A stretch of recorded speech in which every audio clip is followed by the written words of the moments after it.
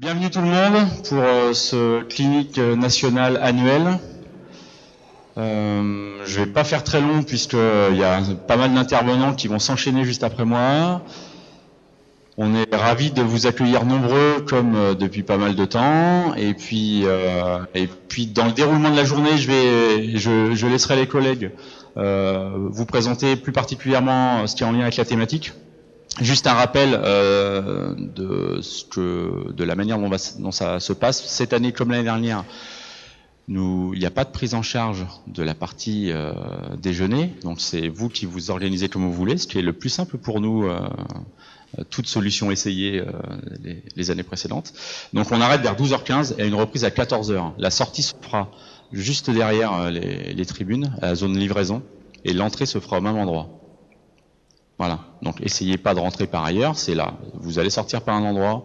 Donc vous, tout le monde sort, contrairement à ce qui s'est passé pour venir. Personne va en bas. Vous auriez dû arriver par en haut, mais c'est pas par où ça fait rentrer, c'est pas très grave. Vous sortez par ici, tout de suite à droite, et euh, sortie livraison et vous sortez par là. Voilà, d'accord? Et on re-rentre par ici.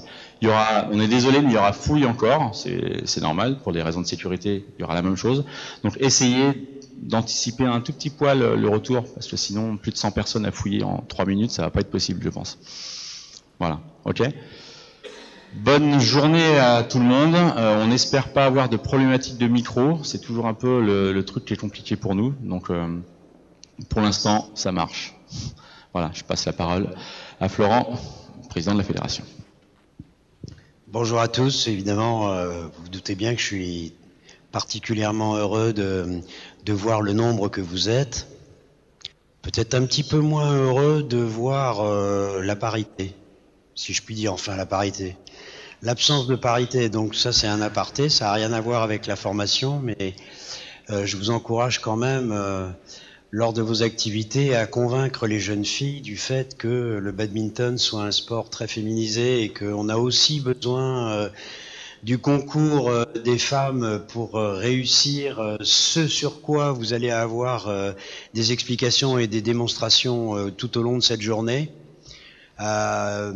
donc le travail coordonné par Vincent sur le parcours du jeune du jeune badmintonien euh, vers le haut niveau est quelque chose de fondamental. Vous savez que, évidemment, 2024 euh, est un objectif euh, très important euh, pour la fédération. Nous souhaitons y figurer, bien sûr, le plus honorablement possible, mais ça ne doit pas fermer, ça doit pas nous distraire non plus du fait qu'après 2024, il y aura 2028, 2032 et ainsi de suite. Que la montée en puissance régulière du niveau de jeu des athlètes français n'en est que, je, dirais, je dirais pas aux prémices quand même, puisqu'on a vraiment maintenant, on commence à avoir de vrais résultats, mais en tout cas, c'est pas abouti. Il faut, il faut aller jusqu'au bout. vous savez que l'axe 1 du projet fédéral, 1, c'est pas par ordre hiérarchique, mais c'est le numéro qu'on lui a donné, puisque en fait, nous considérons que tous les axes du projet ont la même importance. Mais cet axe-là, donc, est quand même très important et nous tenons quand même à, à gagner des médailles. Il va bien falloir y arriver. Et pour y arriver, on compte sur vous.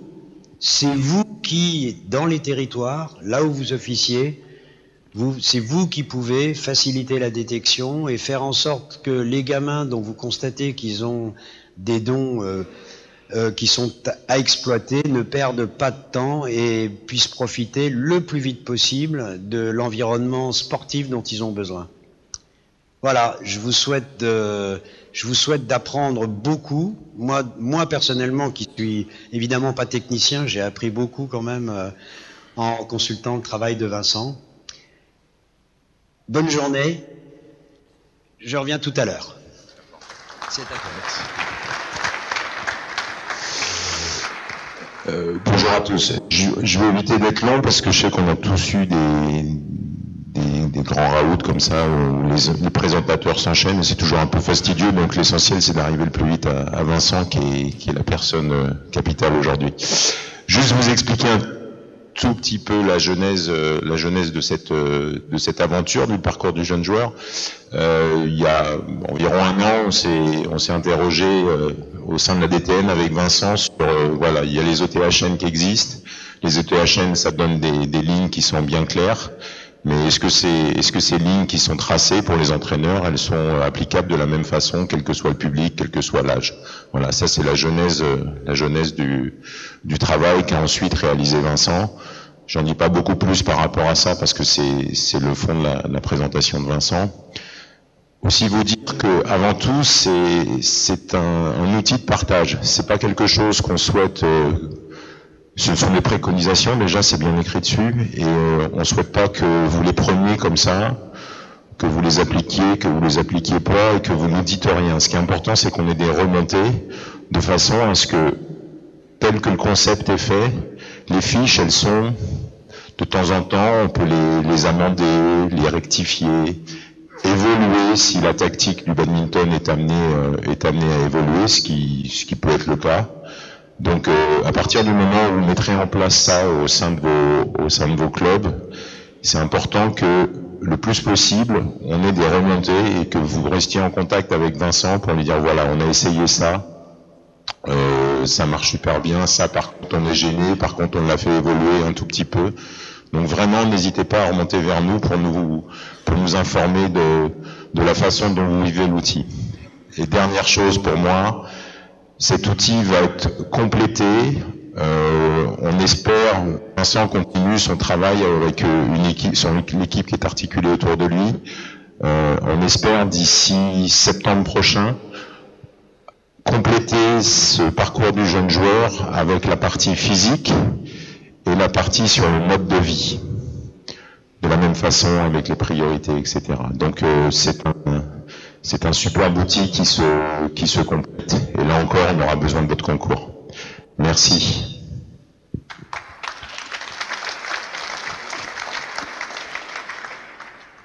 Bonjour à tous, vous m'entendez bien? Ça va? Ouais euh, donc comme l'a dit Fabrice, là ce qui est important c'est qu'on partage cet outil et qu'on qu'il y ait euh, des feedbacks de votre part, mais c'est valable aussi pour la journée. Hein, donc on n'hésitait pas à intervenir. Alors sur euh, la première partie, on vous fera une présentation assez générale. Et dès qu'on passera sur le terrain, là, euh, Philippe, et cet après-midi, euh, Thomas et moi, on organisera des moments où il y aura des questions-réponses sans problème. Ok? Donc vous l'aurez bien compris, l'objectif de toute cette journée, c'est de vous présenter un nouvel outil à destination des, des techniciens, des entraîneurs, plutôt qui sont dans l'accession au niveau. Mais évidemment, c'est intéressant pour tous les entraîneurs français que vous soyez euh, plutôt sur euh, des plus jeunes et pourquoi pas des adultes, des débutants, des joueurs confirmés.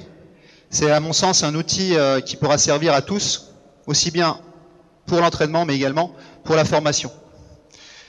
donc comme l'a dit Fabrice, ce qui est important à comprendre, c'est que c'est une première étape.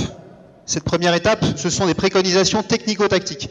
Donc l'objectif, c'était vraiment de décliner les OTHN, alors vous verrez quand on rentrera dans le détail qu'on a fait, on est allé au-delà que de la déclinaison des ETHN. Et euh, donc on est bien sur des préconisations technico-tactiques dans un premier temps. Viendront en fin d'année, euh, sur la saison prochaine, et peut-être qu'on se reverra, sur les préconisations en préparation athlétique, préparation physique et mentale, mode de vie. Donc le programme de la journée. Donc on est ensemble jusqu'à 16 heures. L'objectif, c'est aussi de, de vous, euh, vous montrer que c'était vraiment un travail collectif. Donc euh, toute, la, toute la journée, des intervenants vont se succéder. Donc moi, je vais commencer par vous faire une présentation générale du parcours de formation du jeune joueur. Donc on a appelé ça le PFJJ. C'est une nouvelle appellation. Il y a eu les OTHN. On a essayé de faire le plus simple possible. On n'est pas allé jusqu'à PFJJON. Ça, ça nous paraissait un petit peu long. Donc j'espère que ça rentrera un petit peu dans les, dans la, les, les, les mœurs et que vous, vous aurez très rapidement euh, ben, une facilité pour manier ces, ces terminologies-là. Euh, ensuite, euh, Christophe et Loïc nous présenteront rapidement comment eux, ils ont intégré ce PFJJ dans leurs différents projets. Ça, c'est important. C'est vraiment euh, quelque chose qu'on va essayer de diffuser à tous les niveaux de la fédération. Comme je vous l'ai dit, au niveau euh, de la formation des techniciens, mais également sur les différents projets euh, du PPF. Donc ça, c'est vraiment fondamental que ce soit relayé à, tous nos niveaux. Euh, et ensuite, le cœur de la matinée, c'est vraiment une mise en pratique euh, sur le terrain avec des jeunes joueurs de 9 à 13 ans, donc des joueurs à venir. C'est Philippe Georgeon qui animera cette séquence-là, justement en lien avec le parcours du jeune joueur et les priorités hautes que l'on a définies. Quelques priorités hautes, parce que vous pensez bien qu'on va pas pouvoir aborder en 1h30 l'ensemble des priorités. Donc là, vous aurez l'occasion d'intervenir avec, euh, avec Philippe et les jeunes joueurs sur ce qui se passe sur le terrain.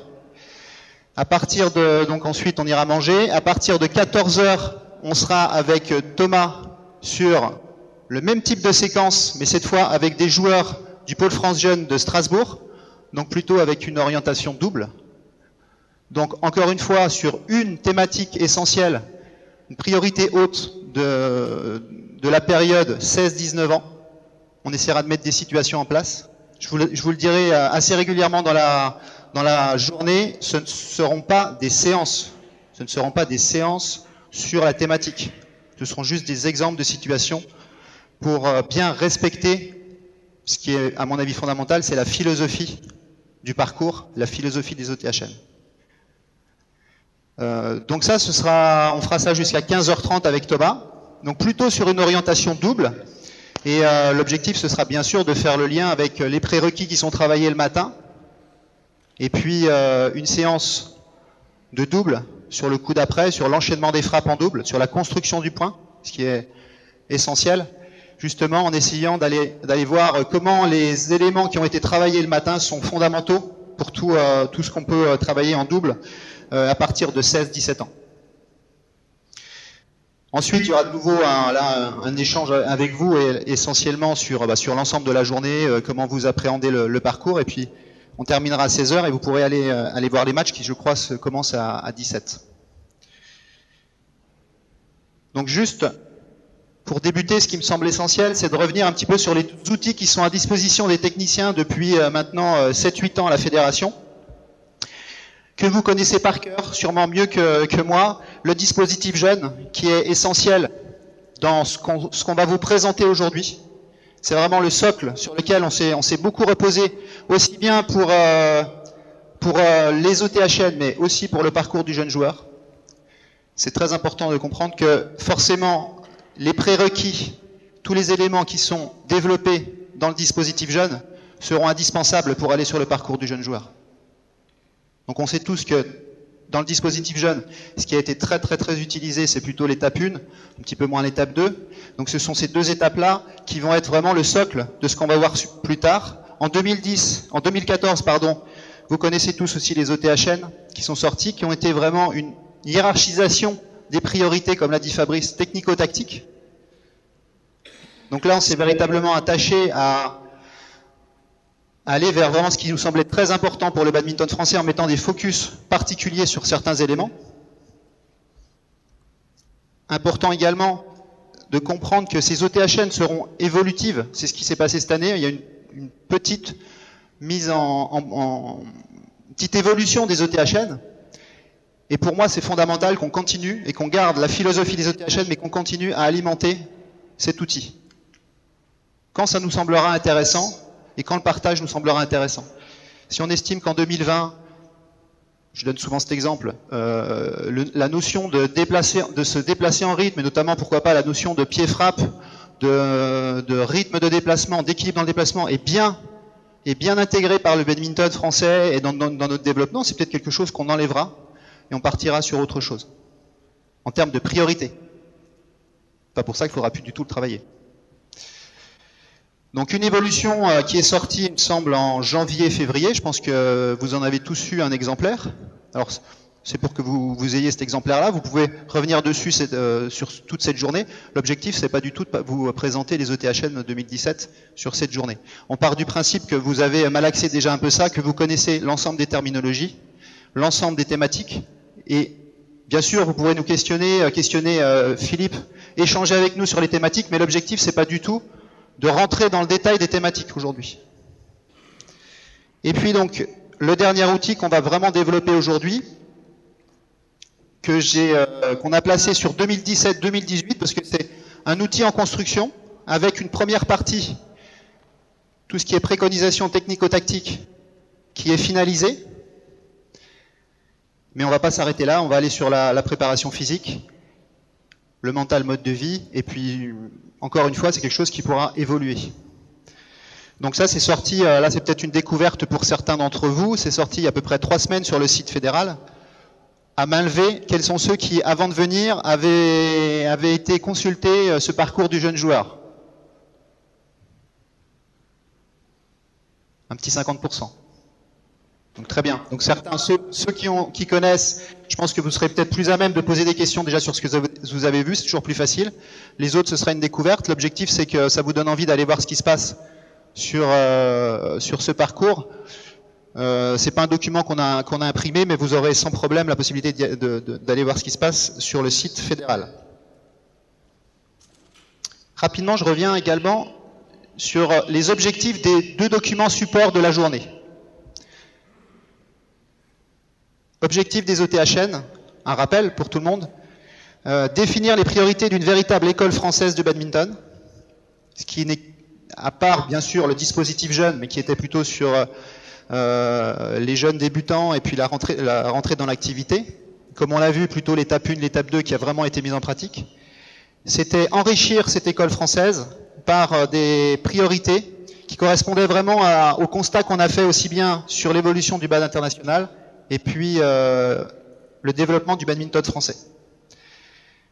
Deuxième chose très importante, et ça pour euh, être constamment confronté à, tout ça dans les formations, en région, euh, dans, dans, le discours, dans les débats avec les collègues, la construction d'un langage et d'un œil commun, je pense que ça marche plutôt bien. On commence vraiment à tous parler le même langage. Tout ce qu'il y a dans les OTHN, je pense qu'ici, si on, si on en parle, c'est pour ça qu'on a fait le choix de ne pas revenir sur ces thématiques. Je pense qu'aujourd'hui, c'est bien maîtrisé par l'ensemble d'entre vous. Et on a aussi bien entre nous, et pour moi, le plus important, c'est qu'avec les joueurs, on ait le même discours. Je prends souvent l'exemple que euh, quand j'entraînais sur le pôle France de Strasbourg, ou même le pôle Espoir, euh, je parlais de dynamique des appuis. Euh, les collègues, c'est pareil, ils sont, ils c'est pas trop ce que je veux dire quand je parlais de dynamique des appuis, je peux vous dire que les joueurs, ils mettaient six mois pour comprendre ce que ça voulait dire. Parce que c'était ma terminologie à moi. D'autres entraîneurs étaient plutôt sur l'équilibre, d'autres entraîneurs étaient plutôt sur euh, le fait de se déplacer en rythme. Et donc forcément, le joueur, quand il passe d'un club à un autre, d'une structure à un autre, il, il met énormément de temps pour s'approprier déjà la terminologie. Donc ça, c'était une priorité quand même, et, pour moi c'est une priorité super importante. C'est un objectif très important. Et dernière chose, et on va le développer beaucoup, euh, euh, c'est plus euh, Loïc et Christophe qui le développeront, développer une grille d'analyse et d'évaluation.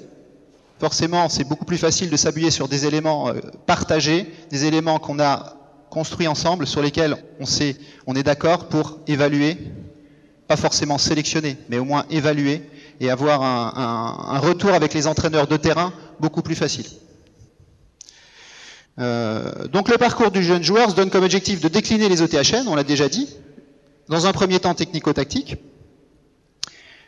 poursuivre le partage, c'est ce qu'on fait là, c'est ce qu'on a fait euh, il n'y a pas longtemps avec les, responsables de Pôle Espoir, c'est ce qu'on fait dans les formations, c'est ce que j'espère que vous ferez dans vos formations euh, sur le territoire, en parlant le même langage, forcément, on, partage ce langage, on partage cette culture commune.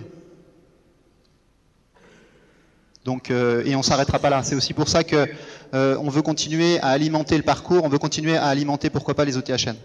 Et puis, favoriser et harmoniser les évaluations. Forcément, on a fait des choix sur les 9-13 ans, 13-16, 16-19. Eh bien, on va cibler plus tôt sur ces éléments-là, ces compétences à développer pour évaluer les jeunes joueurs.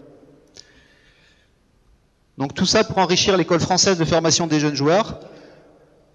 Et euh, l'objectif, c'est que ce soit pas figé, qu'on ne s'arrête pas là, et qu'on se dise, ok, maintenant on est tranquille pendant 10 ans.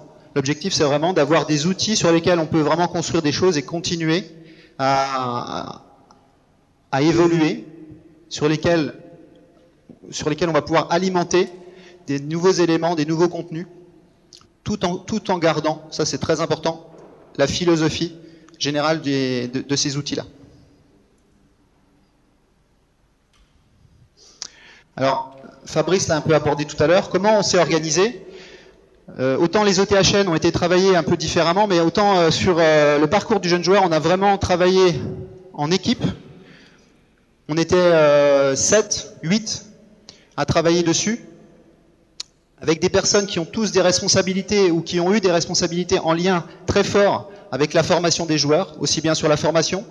Il y a eu des, responsables de Pôle Espoir, des, anciens responsables de Pôle Espoir, de Pôle France Jeune, des responsables de secteur, euh, tous en lien avec la formation. Et euh, on a pris le temps de malaxer tous ces éléments pour vraiment construire un travail collectif. Et, et moi, euh, bon, ça fait une dizaine d'années que je suis à la fédération, on avait rarement fait ça, pris le temps de le faire. C'est forcément plus long, mais plus riche. Évidemment plus riche. Donc on continue à le faire avec euh, des spécialistes de la préparation physique en ce moment, sur justement pour pouvoir vous présenter euh, dès euh, la fin de saison euh, ce qu'on appellera les pré préconisations en, termes de, prépa physique. Voilà à peu près les étapes qui nous ont, euh, qui nous ont animés pendant une saison. La première chose, c'était de définir quelles étaient les habiletés technico-tactiques indispensables à maîtriser à 19 ans. Donc ça, on a beaucoup aussi échangé avec euh, les entraîneurs euh, de l'INSEP pour que, alors évidemment que le joueur, l'objectif c'est pas qu'il soit euh, top 10 mondial à 19 ans. L'objectif c'est qu'il y ait des fondations. Ça, on revient à ce que vous avez pu voir dans les OTHN 2017. Des fondations très fortes pour pouvoir aller plus haut et vraiment se reposer sur des éléments bien maîtrisés. Pour pas qu'il y ait d'éléments, euh, je dirais, euh, qui vont euh, être limitants dans la progression du, joueur sur le circuit international senior. Donc ça, ça nous a pris un petit peu de temps. Pour rien oublier, et encore une fois, pour prendre en compte évidemment ce qu'il y a dans les OTHN, mais aller au-delà. Vous verrez qu'il y a deux, trois thématiques qui ne sont pas forcément dans les OTHN, mais qui nous ont semblé très importantes, notamment pour les petites catégories, pour les plus, pour les plus jeunes. Deuxième chose, répartir ses priorités en, en éléments, euh, en priorités hautes, moyennes et faibles. Je développerai un petit peu tout à l'heure, c'est important que vous compreniez comment appréhender ces différentes priorités en fonction des catégories. Alors les catégories, on les a rapidement euh, définies. Ce sont les catégories qui correspondent à, aux structures de la fédération. On aurait pu faire autrement, faire des, caté faire, euh, des catégories euh, en, en, deux années d'âge, comme sur les classements. Donc les structures, c'est-à-dire Club Avenir, 9-13 ans, Pôle Espoir, 13-16 ans, et Pôle France Relève, 16-19 ans, 20 ans. Voilà, on s'est arrêté là-dessus. On aurait pu être plus précis, on pourra, on pourra échanger. Mais de toute façon, vous verrez qu'il y a une grande souplesse dans l'utilisation de ces priorités et que l'objectif, c'est d'avoir un, un, chemin euh, commun et pas forcément de respecter à la lettre euh, les préconisations en fonction de l'âge. Les deux derniers éléments qu'on a, qu'on a travaillé, donc plutôt sur la fin de, ce travail, euh, une fois qu'on avait défini les priorités hautes, moyennes et faibles sur chaque catégorie, on a défini les compétences attendues en fin de catégorie, en fin de période. Un exemple tout bête, le relâché serré, c'est quelque chose qu'on a, qu'on a placé en priorité haute sur les 10 années de formation. D'accord? C'est-à-dire priorité haute en 9-13 ans, priorité haute en 13-16, priorité haute en 16-19. Mais ce qu'on attend d'un jeune joueur à 13-14 ans, encore une fois, il faut, faut, rester très souple. Ben, c'est pas la même chose en termes de relâché serré que ce qu'on attend d'un jeune joueur de 16-17 ans, et encore moins de ce qu'on attend d'un jeune joueur de 19-20 ans. Voilà, donc on a essayé de définir, pour encore une fois, pour donner des aides aux entraîneurs de pôle, de club, euh, de, de pôle espoir, euh, des, des, des, observables clairs. Pas facile, pas facile parce qu'il y a des éléments qui sont euh, plus difficiles à, je dirais, à, qualitativement à, marquer. Donc ça, c'était un travail aussi assez long. Euh, et, ça, ce sont les éléments qu'on utilise pour l'évaluation du joueur. Ok, relâché serré à 13 ans.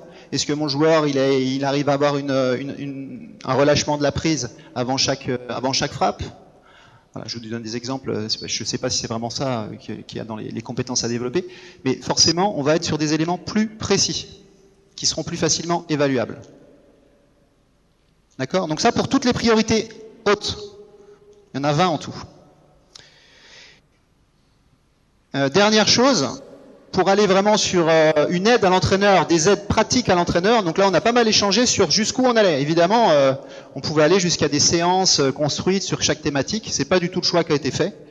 Le choix, c'était de vous donner plutôt des, petits conseils pratiques, des exemples de situations type, des vidéos à aller, à rechercher, parce que c'est particulièrement pertinent par rapport à cette thématique, des lectures qui peuvent être intéressantes, des conseils en termes de mise en place des entraînements, et on va essayer de l'enrichir encore. Ça, c'est aussi des éléments importants. Euh, les fiches pratiques, j'espère, elles évolueront régulièrement. en ce moment, euh, on essaie, on va, on devrait rapidement filmer également des situations types. Mais encore une fois, sans vous donner le cœur du métier d'entraîneur, c'est-à-dire tout ce qui est euh, de la programmation, de la quantification de la charge. Tout ça, c'est pas, c'est la compétence de chaque entraîneur. Quand il le place, comment il le place, il n'y a pas de problème. On n'y aura jamais de nombre de volants euh, de, temps de travail, temps de repos, tous ces éléments-là, vous ne retrouverez pas ça dans les exercices. C'est même ce qu'on va mettre en place ce matin. Vous pourrez nous demander euh, combien de volants euh, pour travailler demi-cours, fond de cours, mais on vous dira forcément, c'est pas le plus important. Ça dépend dans quel, à quel moment on le fait, avec qui, dans quelle période, le matin, l'après-midi. Donc ça, c'est plus les compétences de l'entraîneur qui, qui développeront ça. Voilà.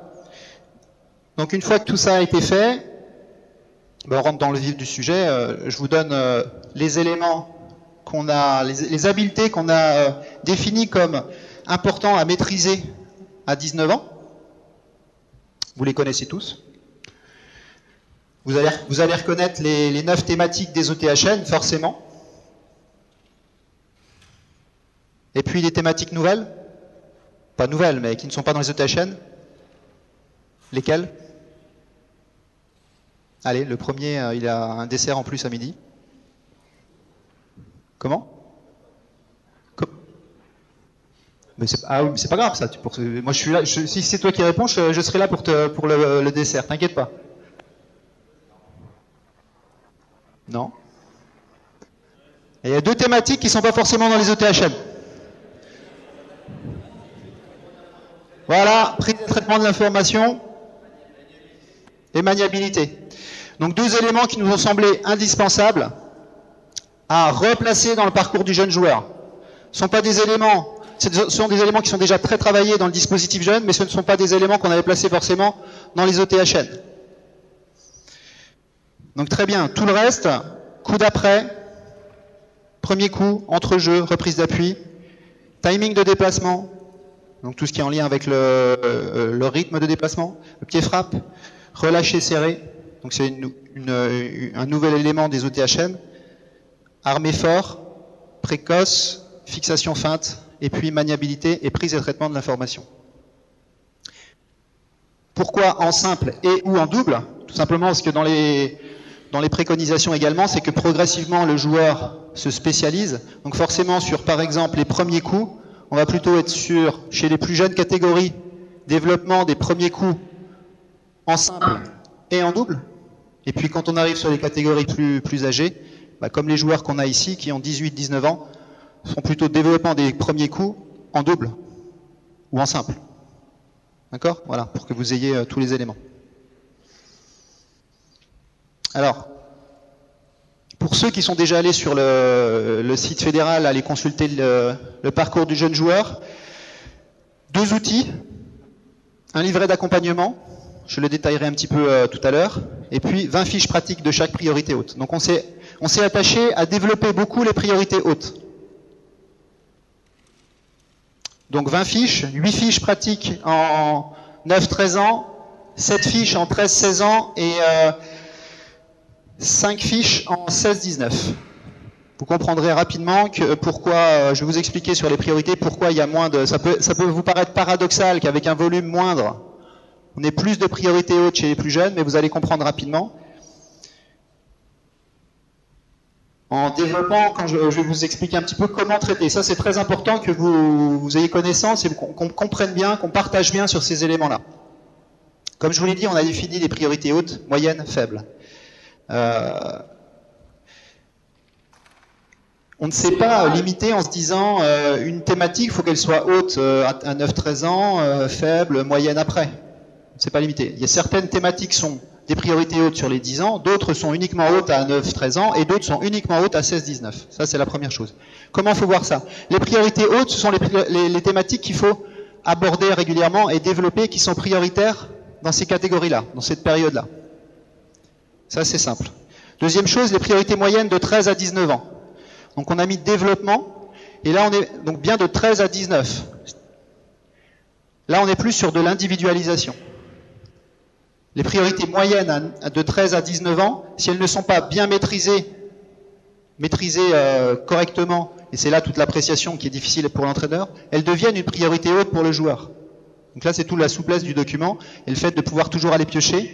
Et c'est aussi l'importance de bien connaître toutes les différentes priorités en fonction des âges, de ne pas s'arrêter uniquement à la catégorie que vous avez à l'entraînement. Donc une priorité moyenne, je vous donne un exemple, un autre exemple. Euh, armée, on a l'armée, on a considéré qu'à 13-14 ans, c'est quelque chose qui devait être bien maîtrisé. Donc on l'a passé plutôt en priorité moyenne à 13 ans. Mais il est évident que beaucoup de joueurs à 13, 14, 15 et pourquoi pas 16 ans ne maîtrisent pas bien ça et ça doit rester dans l'individualisation et dans le chemin du, joueur, dans le chemin individuel du joueur, une priorité haute. D'accord? Et, c'est encore plus valable pour, euh, euh, les plus âgés. Donc il n'y a que 5 priorités hautes pour les joueurs que vous allez voir cet après-midi, mais il est évident qu'eux, ils ne travaillent pas que ces 5 priorités hautes. Ils ont peut-être le double pour eux, individuellement, de priorités. Sur les, sur les 3-4 années, hein, encore une fois, après la compétence de l'entraîneur va pouvoir hiérarchiser, organiser, planifier toutes euh, toutes ces différentes habiletés. Une autre chose à comprendre, les priorités moyennes à 9-13 ans. Euh, ce sont des priorités sur lesquelles il faut, euh, il faut aller pour sensibiliser, pas forcément pour développer. Par exemple, les premiers coups.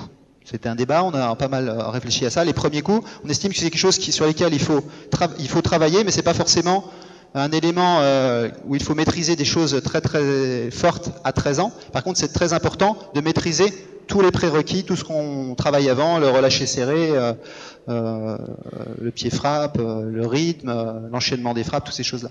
Voilà. Et évidemment, il faut l'aborder avec les, jeunes, évidemment. Priorité moyenne. Et puis les priorités faibles qui devraient être normalement des éléments qui sont maîtrisés. C'est le cas par exemple de la maniabilité. 13-14 ans, on estime que la maniabilité doit plus être une priorité de- des, des séances d'entraînement. Donc on met un focus fort là-dessus. Est-ce que ce sera le, le cas? C'est peut-être pas forcément toujours le cas, notamment pour les prises de raquettes. Et puis priorité faible aussi, un autre priorité faible comme l'entrejeu, qu'on a décidé plutôt d'aborder euh, plutôt vers 16, 16-17 ans. Ou 15, euh, 13 en priorité moyenne à 13 ans, il me semble, et, euh, en priorité haute plutôt vers 16-17 ans. Voilà. Parce que ça ne correspondrait pas forcément au type de jeu des jeunes joueurs avant 13 ans. hein. Avant 13 ans, c'est 9-13, je vous rappelle. Hein. T'es petit. Et ce- ceux qu'on va voir tout à l'heure, je pense que ce, moi je connais pas leur âge exactement, mais à mon avis, ils sont plutôt dans la fourchette haute des 9-13 ans. Non? Moyen? Trois dernières. Ah oui, d'accord. Dans la fourchette haute. Voilà comment on a réparti les priorités en haute, moyenne et faible sur les trois périodes.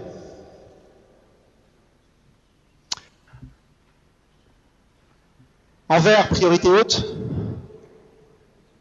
moyenne en orange et en rouge, priorité faible. Donc là, c'est juste que pour vous ayez un petit visuel. Vous voyez qu'il y a des éléments euh, qui sont à priorité haute sur les 10 années, relâchés serrés, des éléments qui sont à priorité haute uniquement sur euh, les premières catégories, les premières années, 9-13 ans, donc maniabilité, relâché serré, euh, armé fort et précoce, fixation, reprise d'appui, timing de déplacement, pied frappe, prise et traitement de l'information. Vous allez me dire, ça fait beaucoup de, jo- euh, beaucoup de choses pour un jeune joueur. Ce sont des choses qui sont essentielles à travailler avant 12-13 ans. Et après, euh, c'est quelque chose qu'il faut construire sur les quatre années de formation. Je vous laisse un petit peu. Alors, ce qu'on va voir aujourd'hui, on en reparlera, mais euh, Philippe va axer son intervention sur, euh, avec les jeunes des clubs à venir sur reprise d'appui, notamment le timing de reprise d'appui, l'armée fort et le pied frappe. Et cet après-midi, on, on relayera euh, ces éléments-là. C'est bon? Notez les questions. Je suis sûr que vous commencez à en avoir là. Pas oublier. Donc ça, c'est un tableau que vous allez retrouver dans le document euh, final, dans le, dans le livret d'accompagnement, qui vous donne toutes les priorités hautes en fonction des âges. On ne rentre pas dans le détail. Hein. euh. Encore une fois, c'est pas l'objet de la journée. Mais notez les questions, là, je, vous- suis sûr que vous allez commencer à en avoir. Donc là, ce qui peut choquer, c'est un petit peu euh, le fait qu'il y ait assez peu de priorité pour les plus, les plus âgés, mais voilà, je pense que maintenant vous avez bien compris la philosophie. Forcément, en, en 16-19 ans, il y a beaucoup de priorités moyennes. hein. Priorité moyenne, vous voyez, ça s'inverse.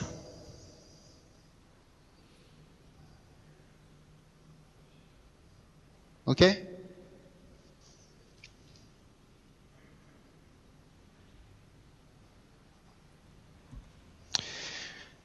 Donc comme je vous l'ai dit, les fiches pratiques.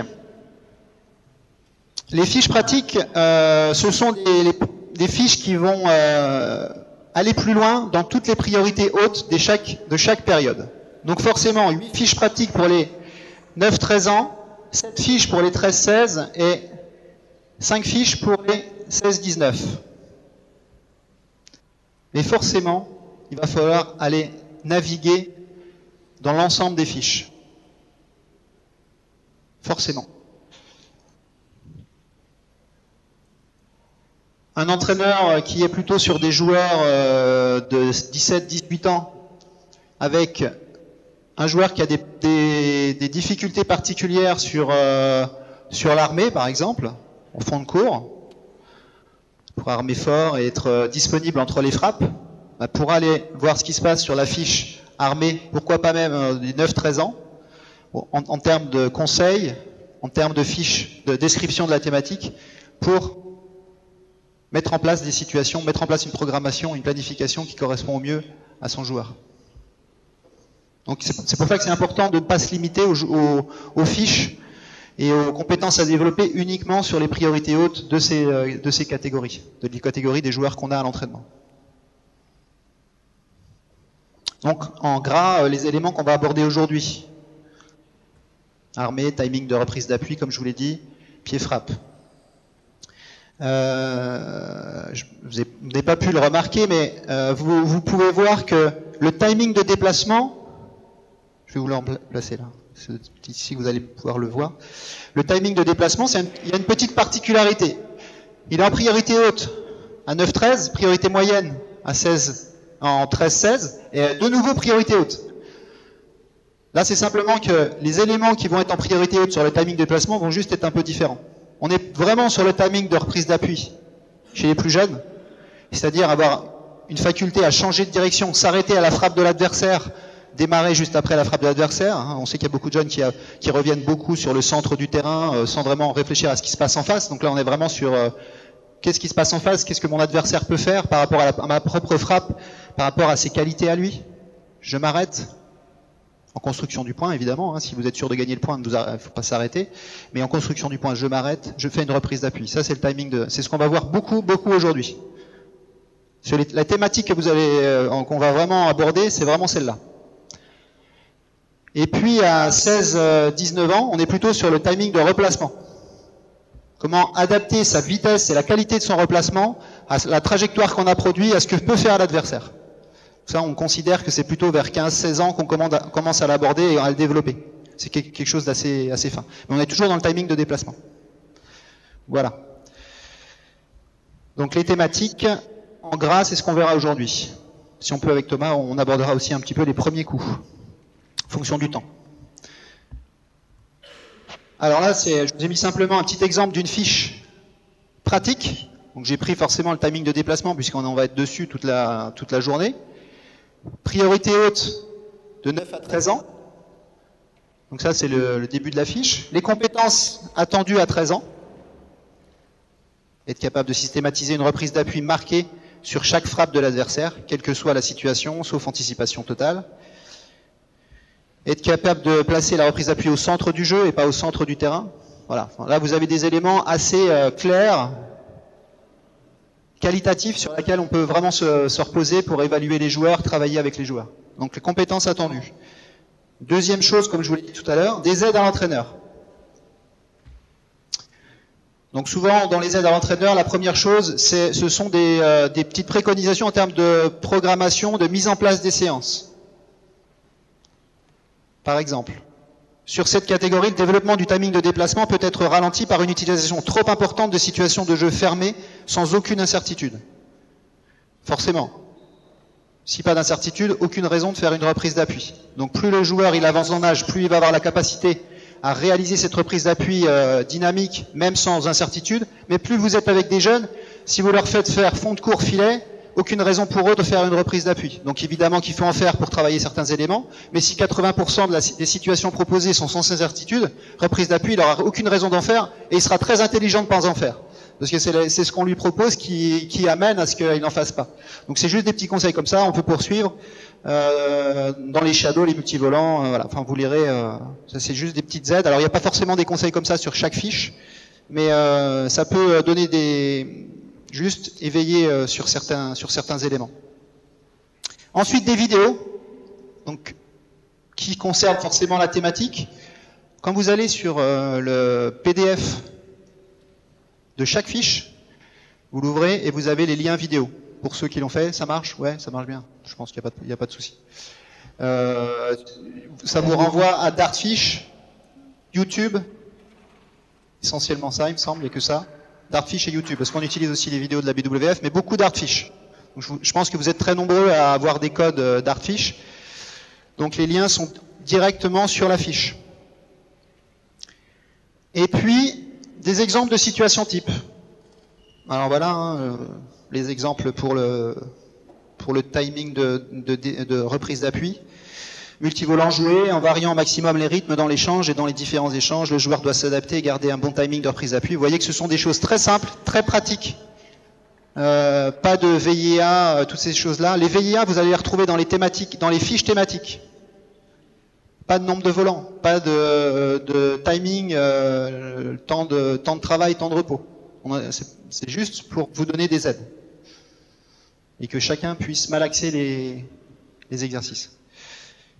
Pour l'instant, c'est quelque chose qui est plutôt euh, bien, apprécié, ce genre de, petites. Euh, je pense qu'on s'est placé, il me semble, au bon niveau en termes euh,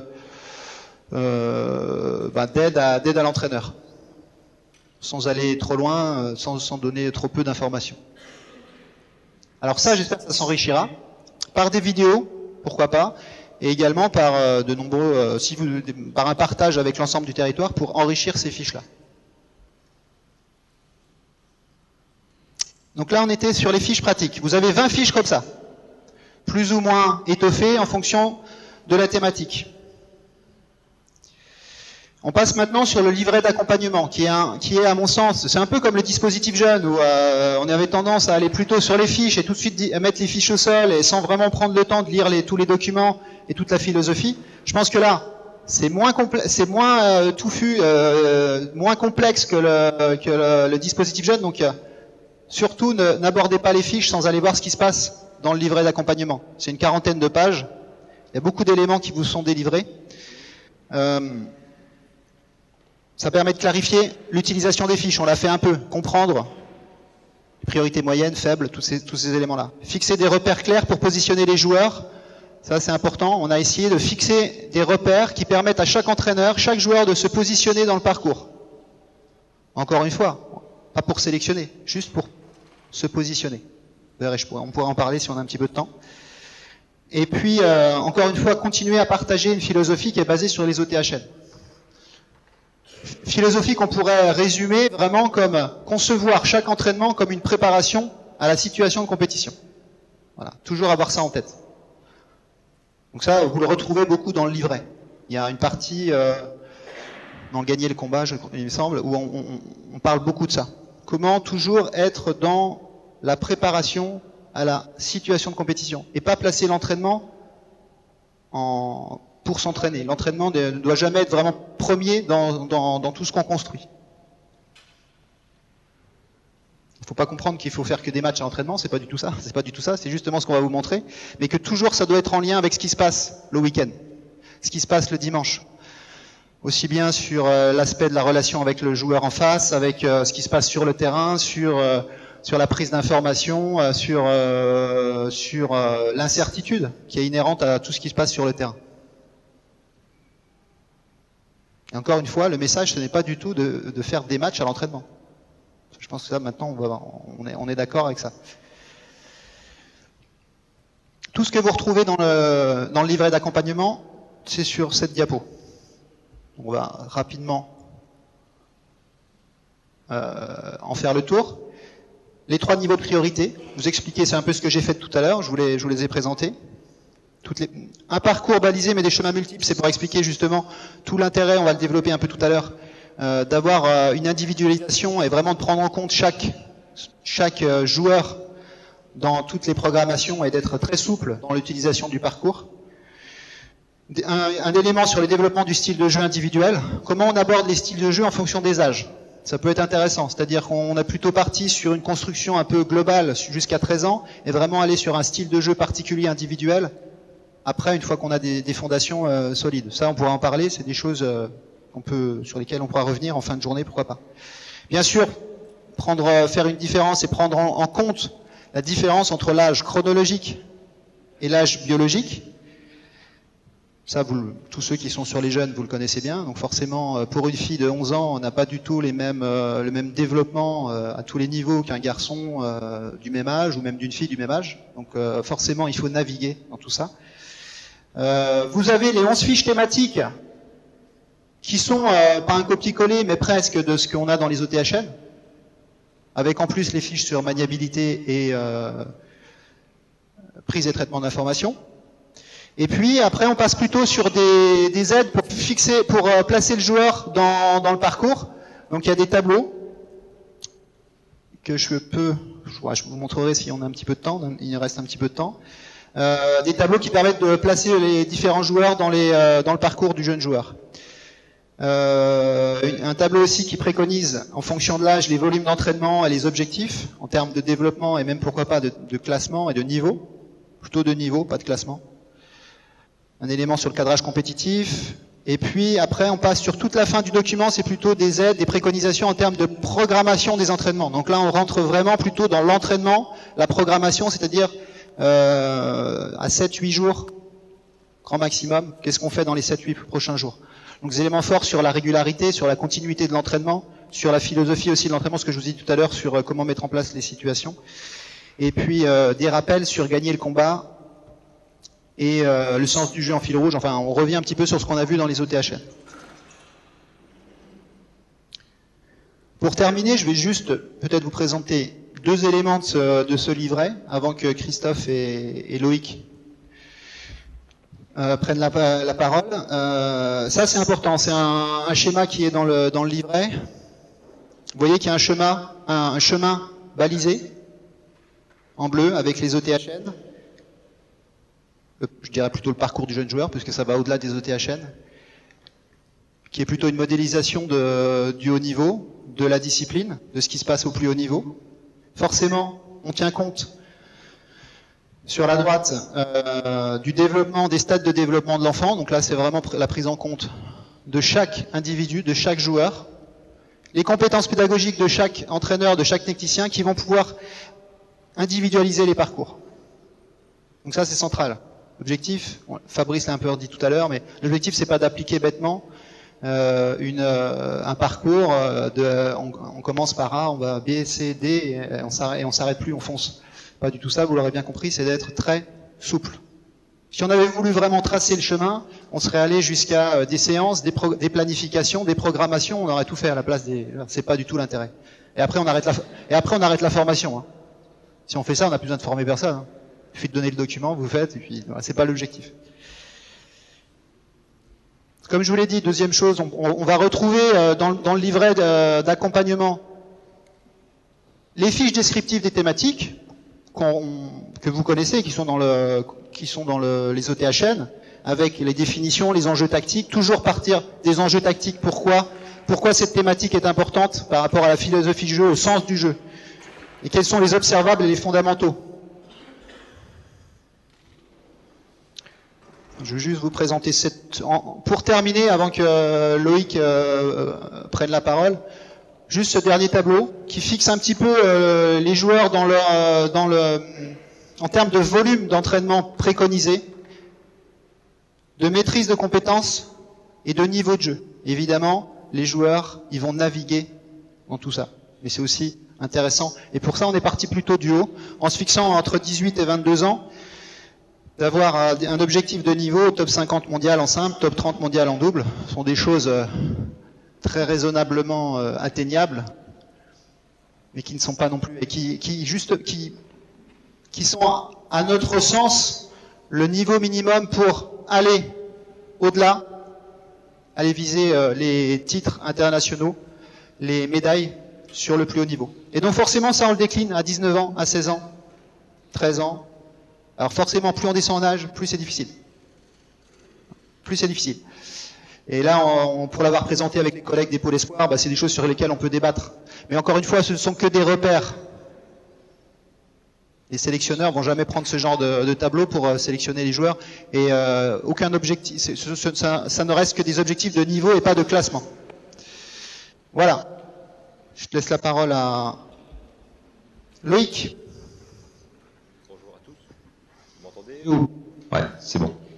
Donc euh, je vais essayer de vous présenter pour le secteur du PPF territorial qui me concerne avec euh, Bertrand Louvet et Philippe Georgeon sur toute la partie euh, dispositif à venir, donc toute la détection, club à venir, collectif France à venir et un peu pour l'espoir concrètement comment ça va se, se, décliner pour notre secteur et comment on va l'utiliser. Donc c'est vraiment ça l'enjeu. Donc on est sur un outil qui va quand même être très simple, voilà, c'est pas révolutionnaire, mais c'est très précis et c'est surtout très efficace. Donc, vraiment l'enjeu, ça va être une feuille de route commune. La difficulté de mon secteur, c'est que on a un joueur qui gravite avec des entraîneurs de club, du comité, de la ligue, et avec nous parfois sur les stages. L'idée, voilà, c'est d'avoir vraiment un, outil sur lequel on a vraiment un discours commun, et on, on va pouvoir mettre en place une cohérence et une continuité de travail pour les 9-13 ans à chaque niveau. Donc c'est vraiment ça qui va être intéressant, c'est qu'on va... Euh, ah bon. voilà, on va pouvoir vraiment euh, être très clair par rapport à ça et sur un message très simple à chaque niveau, que le joueur soit avec son entraîneur de club, de comité, de ligue ou non. L'enjeu aussi, c'est de, on a tous connu, on connaît tous des, des joueurs qui sont euh, très bons, qui performent très vite, très jeunes, voilà, qui ont des qualités spécifiques, des, soit avancées, soit en termes de maturité physique ou autre, mais pour qui il manque, euh, voilà, je vais pas y arriver, mais pour qui voilà, il, manque euh, des grands secteurs qui sont pas travaillés, qui restent des lacunes, et qu'on sait qu'en bout de chaîne, quand ils seront euh, juniors ou surtout seniors, voilà, ce sera un point faible qui restera, et à un moment donné, on sait que c'est toujours le point faible qui est facteur limitant. Donc voilà, on va plus regarder le joueur comme un beau joueur de bad, mais on va se dire, voilà, sur toutes les priorités hautes des 9-13 ans, concrètement, voilà, faut que tout soit ça acquis. Après, s'il a des qualités, on les garde, mais on pourra vraiment appuyer sur les priorités hautes qu'a évoqué Vincent. L'intérêt, c'est ça aussi, c'était vraiment, je pense, la grosse évolution, c'est comprendre qu'à chaque niveau, on a chacun un rôle à jouer dans la formation de jeunes joueurs, et qu'à un moment donné, bon, si, voilà, à un moment donné, on aura vraiment euh, on, sait quoi là, on pourra moins sur euh, travailler ce qui nous est demandé à chaque niveau et on, a une cohérence. C'est pour ça que c'est intéressant aussi de lire ce qui se passe après le niveau des joueurs par rapport à ça. Voilà, simplifier, cadrer les de travail avec chaque joueur. Donc à l'entraînement, c'est déjà beaucoup sur la partie technico-tactique. Et après, en dehors du cours et en compétition, voilà. Quand nous on récupérait aussi un joueur euh, sur la partie euh, en compétition quand il était sur les collectifs France, voilà comment on gère en dehors du cours. Voilà, on a des joueurs qui étaient très habitués à ce que ce soit l'entraîneur qui gère euh, sa bouteille d'eau, comment il vient sur le terrain, qui c'est qui tient le caméscope, euh, voilà, qui c'est qui met le caméscope. Voilà, ça c'est différent, donc c'est des choses qui vont aussi arriver. Et quand le joueur il sera sur des compétitions avec vous au niveau interrégional, voire national, on travaillera à peu près la même chose.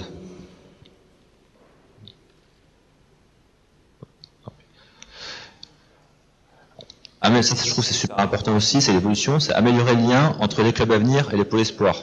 C'est-à-dire qu'aujourd'hui, quand un joueur euh, va, euh, quand le du pôle va voir pour faire les entrées en pôle espoir, pour euh, voir quels, sont les joueurs qui pourraient rentrer en pôle espoir, tous les clubs seront au courant de quelles sont les habilités que le joueur doit maîtriser en sortie, en sortie de club à venir. Pour postuler en pôle espoir, qu'est-ce que je dois maîtriser, quelles sont les habilités à maîtriser pour pouvoir avoir des grandes chances, les chances de mon côté, pour vraiment bien être formé en pôle espoir.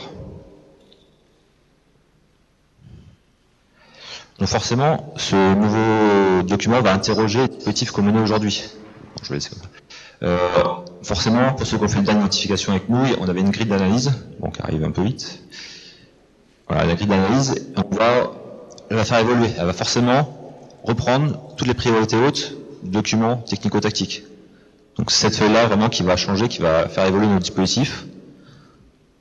J'en profite pour parler aussi du suivi national, le SAM qui va arriver en janvier.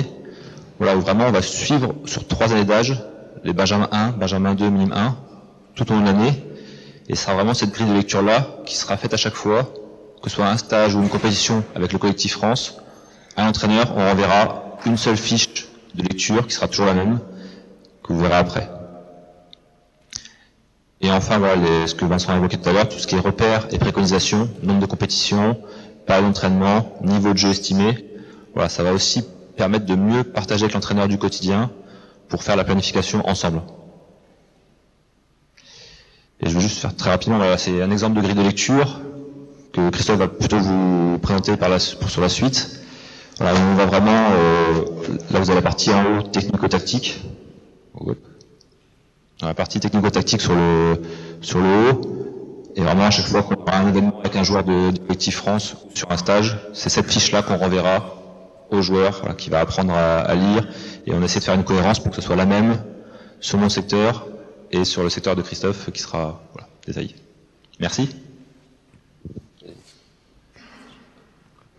Ok, merci Loïc. Bonjour à tous. Donc euh, je vais faire euh, court maintenant parce que la plupart des choses ont été dites par euh, Vincent et Loïc.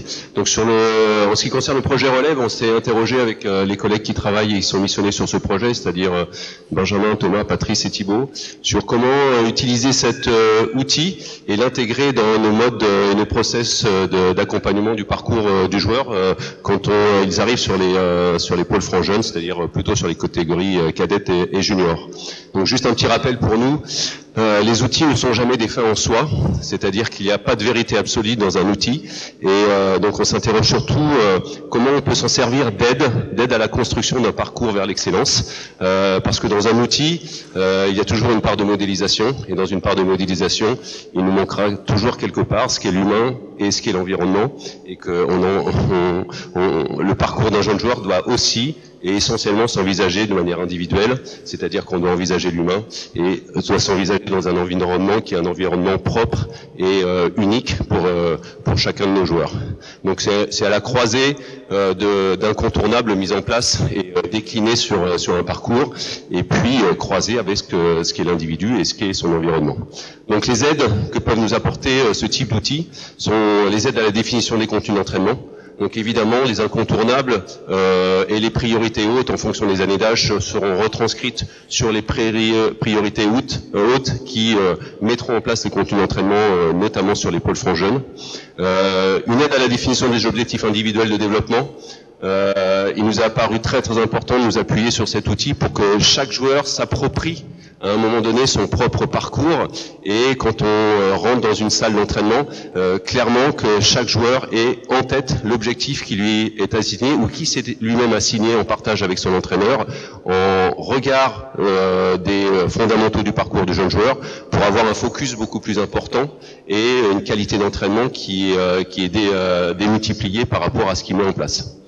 Une aide de débriefing, euh, parce que quand on est en compétition, euh, il faut sortir euh, du à un moment donné dans le parcours du joueur et du jeune joueur notamment, même si in fine sur le niveau senior l'évaluation sera toujours binaire, en premier lieu de, de manière implicite, c'est-à-dire gagner ou perdre, mais évidemment dans un parcours du jeune joueur, l'évaluation doit être beaucoup plus fine et beaucoup plus élaborée que celle clairement binaire et que en fonction des priorités et des habiletés développées et mises en, en, exergue dans ce parcours du jeune joueur, les débriefings seront enrichis. Une aide à la mise en place des process d'évaluation et de remédiation. Donc là, euh, encore une fois, euh, c'était cet outil pour mettre en place des fiches d'évaluation, remédier en fonction du, du parcours et de l'évolution et de l'adaptation du joueur et euh, se, se, référer systématiquement euh, à, ce, à, ces fiches d'évaluation, notamment pour les joueurs eux-mêmes euh, les aider euh, dans leur propre parcours, euh, parce que évidemment, même si les fiches d'évaluation sont un outil commun, là-dedans, ce qui est intéressant, c'est que le joueur puisse se situer par rapport à lui-même. Donc, en ce qui concerne, en ce qui concerne le débrief, on pas grand-chose, mais essentiellement, comme je le disais tout à l'heure, dans une, dans une défaite, il y a plein de bonnes choses, où il peut y avoir plein de bonnes choses, et dans une victoire, il peut y avoir plein d'items qui ont été euh, mal appréhendés par le joueur. Donc euh, dépasser complètement le résultat, notamment sur tout le parcours du, euh, du jeune joueur, pour à un moment donné savoir positiver ce qu'il y a dans une défaite et relativiser ce qu'il y a dans une victoire. Et se référer systématiquement au développement des habiletés. Pour pouvoir à un moment donné donner des repères aux joueurs, euh, sur son évolution euh, de compétition en compétition, d'entraînement en entraînement. Et euh, bien évidemment, la plupart du temps, quand on essuie une défaite, le débriefing qui s'ensuit est, est, compliqué, alors qu'il ne devrait pas l'être. et si on s'appuie essentiellement sur ces fiches d'évaluation qui mettent en avant le développement des habiletés, tout d'un coup on relativise ce que c'est gagner et perdre, et on a un chemin qui est beaucoup plus positif vers, vers le haut niveau fiches d'évaluation. Euh, donc elles vont nous permettre euh, euh, d'effectuer un suivi vertical. L'idée encore une fois, c'est d'avoir un suivi qui part du jeune joueur qui rentre dans un club à venir jusqu'à son entrée sur, sur l'INSEP, sachant que sur l'INSEP, ils ont aussi mis en place un, outil d'évaluation qui est l'INSEP Meter, qui est un outil qui est un tout petit peu différent et qui reprend des items un peu plus nombreux et, et que ceux que l'on peut retrouver dans les fiches d'évaluation des jeunes, mais qui évidemment est en lien avec cela. Euh, donc avoir un suivi vertical du joueur pour que le joueur passe pas d'une étape à l'autre, d'un entraîneur à l'autre, euh, et recommence à zéro son parcours, mais qu'il y ait un véritable suivi dans la, euh, dans la durée du joueur à partir du moment où il rentre dans notre parcours. parler un langage commun, euh, au travers de toutes les structures de notre parcours, du club au pôle espoir, au pôle fonds jeune et, et, sur l'INSEP. Ça, ça nous paraît très très important. Euh, après ça, euh, positiver euh, avec euh, les fiches d'évaluation. Euh, aller vers l'excellence sur chaque séance, encore une fois, c'est, ça sera un repère pour le joueur, un repère pour l'entraîneur par rapport à la construction de son parcours. Et ça nous apparaît, apparu aussi important euh, avec cet outil, évidemment de le partager avec les joueurs pour que les joueurs deviennent beaucoup plus autonomes et responsables par rapport à la définition de leur parcours. On peut, en tant qu'entraîneur, euh, fixer des objectifs et puis euh, mettre en place des contenus d'entraînement, mais si c'est pas partagé, si c'est pas compris, euh, si c'est pas à un moment donné complètement assimilé par le joueur, on a peu de chances qu'on ait une qualité de 100% sur chaque entraînement. Il faut que le joueur soit l'acteur, le propre acteur de son parcours, le propre acteur de sa, séance d'entraînement. Et pour ça, il faut qu'on partage son évaluation et le suivi de son évaluation. Alors là, on voit pas grand-chose en fait. Euh, on a mis en place, euh, en fonction des priorités hautes sur les 16 novembre, une grille euh, sur lesquelles on va remplir sur une, évaluation de 1 à 5 sur chaque item et qui va nous remplir systématiquement et automatiquement, ça c'est le travail de Loïc, expert, notre expert en Excel de, la DTN, et qui va remplir automatiquement le, le, profil araignée qui va nous donner une image à un temps T de, du joueur. Alors il faut faire attention à ça, comme je vous disais tout à l'heure, ça c'est une modélisation, et euh, parce que qu'est-ce que c'est que quelque part euh, une évaluation sur un geste technique euh, à T? Voilà, on passe. et est-ce que est-ce que c'est très complexe de faire une évaluation dans l'absolu? Parce que de la beauté gestuelle à l'efficacité sportive, où se situe le 5 voilà. Euh, et est-ce que le 5 sur 5 va être le même d'un joueur à l'autre? Donc euh, pour nous, c'est plutôt un outil euh, où on se réfère à des incontournables sur le développement des joueurs et donc aux ETHM, mais aussi un outil très individuel où il nous a paru très important euh, que chaque joueur puisse baliser son parcours et se référer à sa propre fiche au lieu de systématiquement se comparer aux fiches des autres et dans l'absolu. Parce que même si on a situé des stades de développement euh, euh, avec des tranches d'âge, évidemment, il y a des joueurs qui vont échapper à ça. Il y a des joueurs qui seront à maturité plus tardive. Il y aura des joueurs qui seront à maturité plus précoce. L'essence même, c'est euh, l'ordre chronologique d'apprentissage qui est plutôt toujours le même. Et euh, il n'est pas euh, si important de ça de savoir qu'on s'est maîtrisé à 13 plutôt qu'à 14 ans. Ce qui sera important plus tard, de toute manière, c'est de maîtriser un, maximum de choses. Et donc, il faut aussi laisser la place au, au développement individuel de chacun à des vitesses différentes. Et pour ça, ces fiches individuelles donneront à chacun un repère. Donc, en fait, on en arrive à ça à un moment donné, en sachant que là c'est évidemment euh, euh, juste un exemple artificiel parce qu'on n'a pas encore mis en place les fiches mentales et les, fiches sur, le physique ni le mode de vie. Donc, euh, mais ça nous donne un instant T, une image du, du joueur où là évidemment on a plutôt affaire à un joueur qui a des un mode de vie qui est aujourd'hui pas exceptionnel, avec un, abord euh, technico-tactique qui est encore en développement, et plutôt un joueur qui, euh, qui, appuie son, son, euh, son, ses performances sur le côté physique-mental. Et un temps T plus 1, voilà, on aura un, autre graphique qui nous permettra de, de, de voir l'évolution du joueur et de, de, continuer à remédier, à redéfinir des objectifs en redéfinissant derrière des contenus d'entraînement adaptés à son, à son développement. Bravo Christophe, là on voit absolument rien. Donc, euh, d'une évaluation à un temps T, évidemment, on en redécrit des, euh, objectifs, euh, on redéfinit des, euh, des contenus d'entraînement pour aller vers la compétition, tirer les enseignements de la compétition à travers les débriefs qu'on fait, revenir à l'entraînement avec des nouveaux items, avec des items qui auront évolué pour passer à une évaluation à un temps T plus 1, et c'est des cycles qui se répètent tout au long du parcours du joueur. Là, je fais que réinventer l'eau chaude. Merci de votre attention.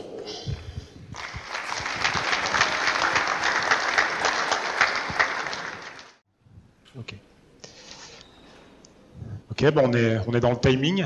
Euh, vos oreilles ont été pas mal sollicitées sur les premières euh, interventions, donc je ne vais pas être trop long euh, de ce point de vue-là pour orienter un petit peu ce qui va se passer, pour solliciter plus vos yeux cette fois sur ce qui se passe sur le terrain. Euh, je vous présenterai tout à l'heure euh, les, quatre joueurs qui, euh, qui, nous font le plaisir d'avoir répondu favorablement à notre proposition et qui vont, vraiment être, un support intéressant pour, pour nous. tout d'abord, oui, comme il vous l'a déjà été présenté, le, le fait d'avoir travaillé en équipe est quelque chose de finalement assez rare. au niveau de la fédération, Vincent en parlait, mais je pense que c'est aussi la même chose au niveau des territoires.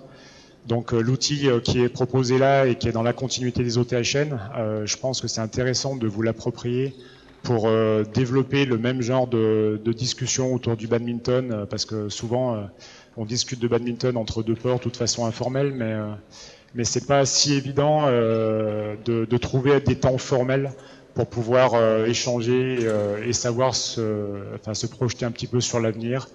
Euh, en termes de fédération, euh, ça veut dire euh, un, dispositif tel qu'il vous est présenté là, mais, sur vos territoires, il y a des objectifs sportifs qui, doivent vous faire vibrer.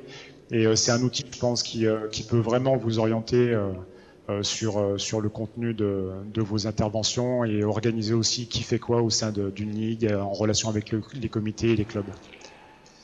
On me dit que c'est pas assez fort. Si. Peut-être là-bas, vous m'entendez moins? Non vu qu'il n'y a qu'une enceinte, je ne sais pas. Je vais essayer de faire plus fort. Euh, voilà. Donc, euh, donc euh, moi j'étais content du travail réalisé et puis bah, ça, se poursuit, ça se poursuit aujourd'hui avec vous, donc donc c'est parfait. merci d'être venu partager tout ça. bon, c'est je vous cache pas que c'est un exercice un petit peu inhabituel pour moi. J'ai pas de diplôme de speak, de speak, speakerine, pardon. Euh, donc là, le petit ustensile, c'est la première fois que je l'utilise. Donc, mais je vais vous solliciter un petit peu et puis vous allez voir, on va on va réussir à échanger. Et puis vous allez m'aider à, à, justement peaufiner un petit peu votre regard par rapport à ce que je vous je vous présenterai. Donc les trois thèmes retenus, euh, donc vous avez eu déjà euh, tout, le, tout le topo, mais euh, sur les 9-13 ans, là c'est ce qui va nous intéresser ce matin, sur les 9-13 ans, il y a huit priorités hautes qui ont été définies, et parmi ces huit priorités hautes, on en a choisi trois.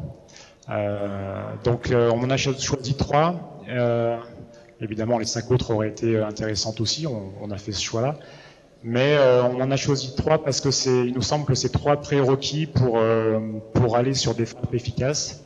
Le premier prérequis pour aller sur une frappe efficace, c'est euh, d'aller sur d'être capable de partir vite. Donc là, on est sur l'aspect timing de la reprise d'appui.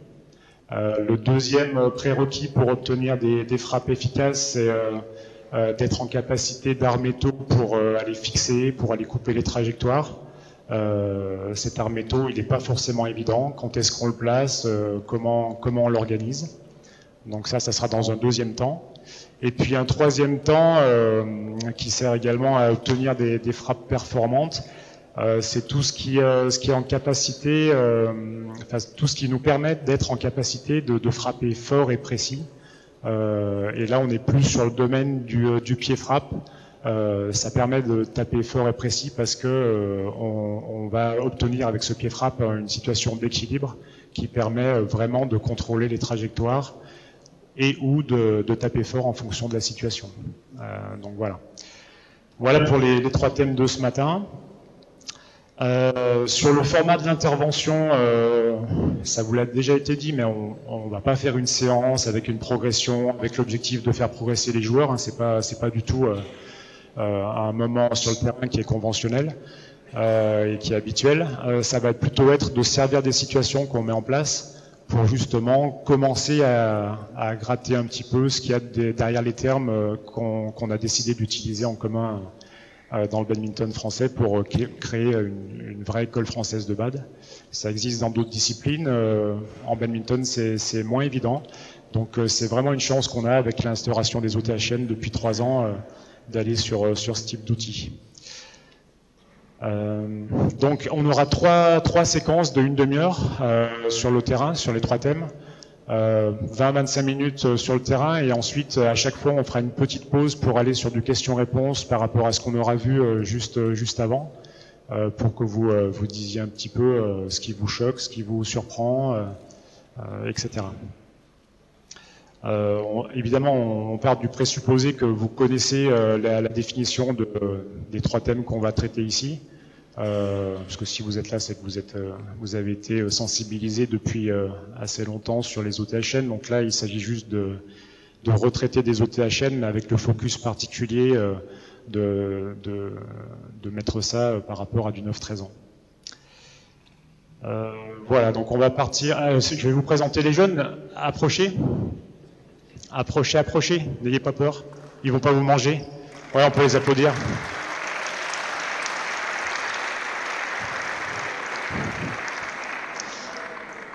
Donc on a euh, deux clubs. Euh, tout d'abord, merci à Julien Kukierman et, euh, et Quentin Tuyon qui, sont occupés d'eux sur, sur l'avant et qui s'en occuperont sur la presse. Ce sont les deux entraîneurs à venir. vous savez qu'il y a, enfin vous, vous savez peut-être pas, mais il y a 38 clubs à venir cette saison en France. Donc là, on a pris euh, quasiment les, deux clubs à venir qui sont le plus éloignés l'un de l'autre, puisque Briançon est représenté euh, avec Julien Kuckerman en entraîneur, et puis euh, le frangin et la frangine la cour, donc Timéo et Loane. et puis le deuxième club à venir qui est représenté, c'est le club à venir de Quimperlé, donc avec Thibaut Anezo et Catel Demo chacun. Euh, et, puis bah voilà, encore une fois, on peut les applaudir parce que c'est pas forcément évident. Voilà. Ok, donc on va partir sur. Euh, on peut enlever la table là, si vous voulez.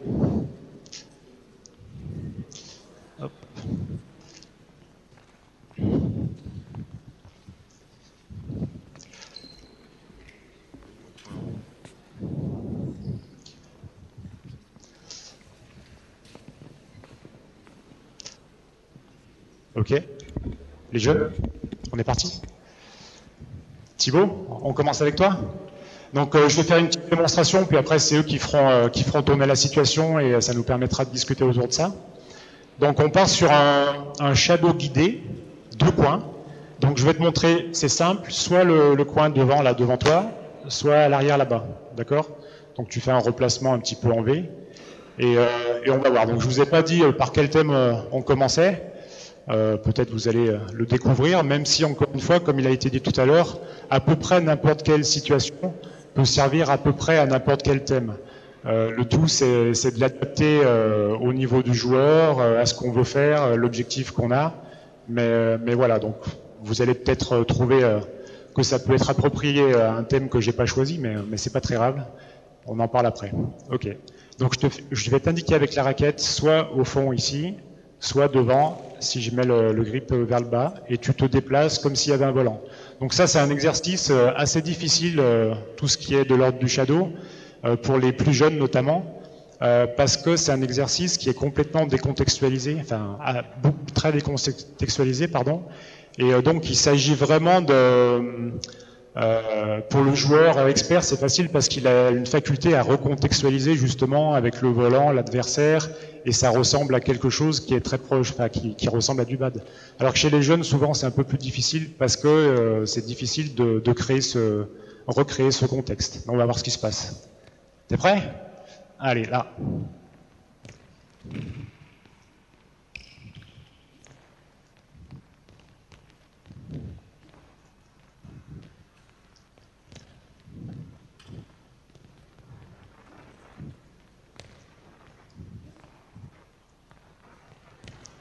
Ok, merci. Selon vous, quel est le thème euh, par lequel on commence parmi les trois? Reprise d'appui marquée Allez-y, dites-moi. Ça peut être quoi d'autre? Timing de reprise d'appui, ouais. Bon, vous avez trouvé alors. C'est bien ça. Euh, donc par rapport à ce thème, qu'est-ce que vous avez pu euh, observer sur, sur ce qu'a fait Thibault? Qu'est-ce qu'il a cherché à faire? Comment, euh, comment ça s'est passé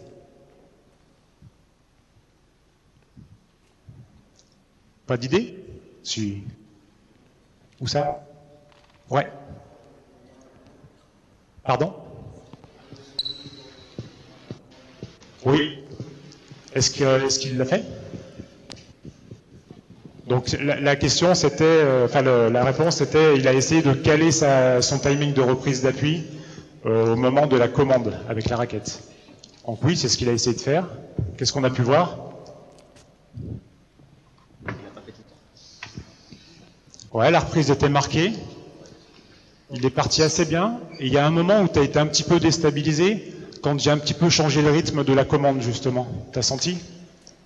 Donc là, euh, tu as été un petit, peu, un petit peu plus surpris, ce qui est normal parce qu'il n'y a pas de volant et c'est plus, euh, plus compliqué à se caler. Mais l'idée, quand j'ai changé, c'est pour, pour montrer euh, et pour faire passer le message que la reprise d'appui peut être de n'importe où sur le terrain. D'accord? Euh, Et toi, ce que tu as cherché, Thibaut, c'est plutôt à venir à la faire à tout prix sur le centre du terrain. Donc, on va le refaire un tout petit peu, après vous le ferez entre vous. Euh, mais le but du jeu là, pour toi, ça va être de bien observer, de prendre un maximum d'informations par rapport à la commande, pour que ta reprise d'appui, même si tu es encore au fond du cours, tu arrêtes ton déplacement et tu places la reprise d'appui à ce moment-là. D'accord? Parce qu'il vaut mieux, il vaut mieux stopper ici pour bien redémarrer un petit peu de partout. Euh, ça sera plus efficace que si euh, tu vas sur euh, un endroit à, tout prix, que tu respectes pas ce timing et que si le volant va dans, dans un endroit que tu n'as pas choisi, tu sois prêt à contre-pied. Ok? Donc on réessaye avec, avec cet objectif. Allez, c'est parti.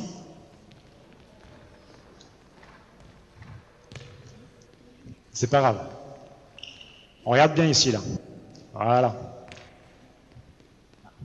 Ok. Super. Ok. Il est pas mal, hein Pas mal. Ok. Donc vous faites la même chose tous les quatre. Donc deux par demi-terrain. Il y en a un qui guide l'autre. Et puis vous changez les rôles tous les trois, quatre passages. Qu'on voit un petit peu ce qui se passe. Et euh, c'est parti. Allez, vous nous faites ça? Allez-y, soyez pas timide. Hein. Les filles avec les filles, on mixe, comment on fait?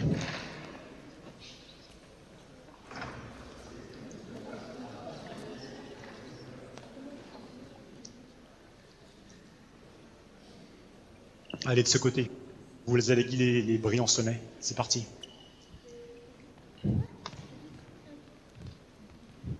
Non, non. Il l'a déjà fait. Fait pour, euh, pour Timéo.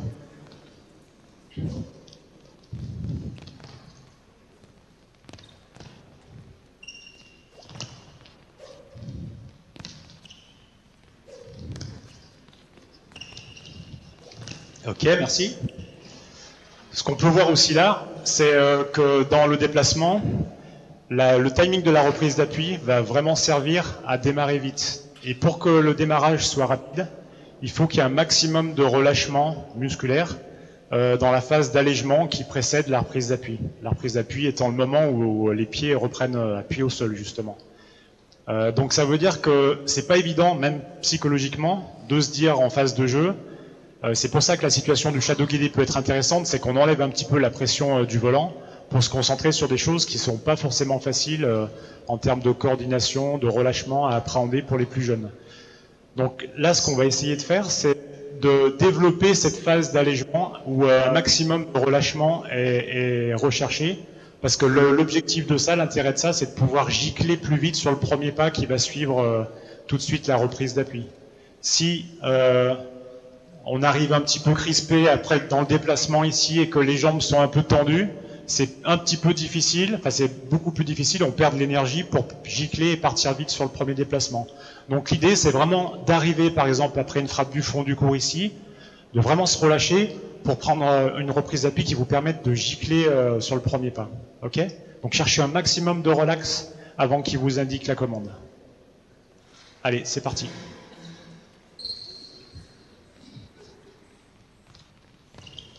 Ouais, relax. Et ça gicle. On écarte un petit peu les appuis au moment de faire la reprise d'appui quand vous... Voilà, c'est bien. Un peu plus écarté, loin de la reprise d'appui. L'idée d'écarter la reprise d'appui, c'est de l'idée générale, c'est d'avoir un écart plus important que la largeur des épaules. Pour donner un ordre d'idée. Ok, c'est bon. Changer un petit peu les rôles.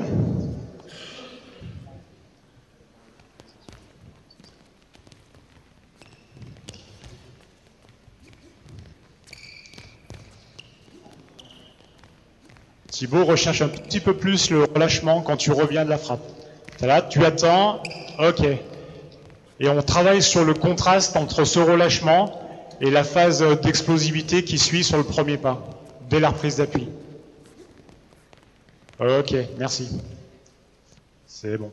Donc après, bon, euh, vous pouvez faire évoluer un petit peu comme, euh, vous voulez. Hein. Il y a Là, ils ont fait deux coins, on peut faire trois coins, quatre coins. Euh, au début, là, on l'a pas fait, mais ça aurait pu être avec euh, de la certitude pour justement euh, enlever encore des, éléments pour vraiment mettre le focus sur cette idée de, contraste entre le, relâchement et l'explosivité du premier pas. Ok On va passer à un deuxième exercice, toujours sur le même thème, qui... C'est pas là. Donc là, justement, on va rajouter le volant pour euh, encore un peu plus sur le timing de reprise, parce que là, on était plus sur la technique de la reprise d'appui en elle-même. Euh, là, on va aller avec un, volant. Donc,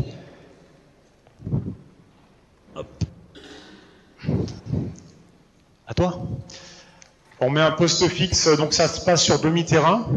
On met un poste fixe sur l'avant du terrain. Et je vais faire en certitude, dans un premier temps, un coup derrière et un coup devant. D'accord? Et j'enchaîne comme ça, devant, derrière. Toi, l'objectif, c'est de reprendre la même base qu'on vient de travailler en plaçant la reprise d'appui au moment où, euh, je frappe, ou à quel moment d'ailleurs? À quel moment on, place la reprise d'appui? Est-ce que c'est euh, avant, pendant, après euh, la frappe de l'adversaire? La reprise d'appui, c'est au contact du volant. Vous êtes d'accord avec ça? Personne qui se mouille. Hein. Est-ce que la reprise d'appui, c'est-à-dire le moment où les appuis euh, prennent contact avec le sol, est-ce que c'est en même temps que la frappe adverse? Pardon? C'est quand on prend l'information ou, ou par le volant. Donc ça veut dire que c'est pas en même temps, peut-être.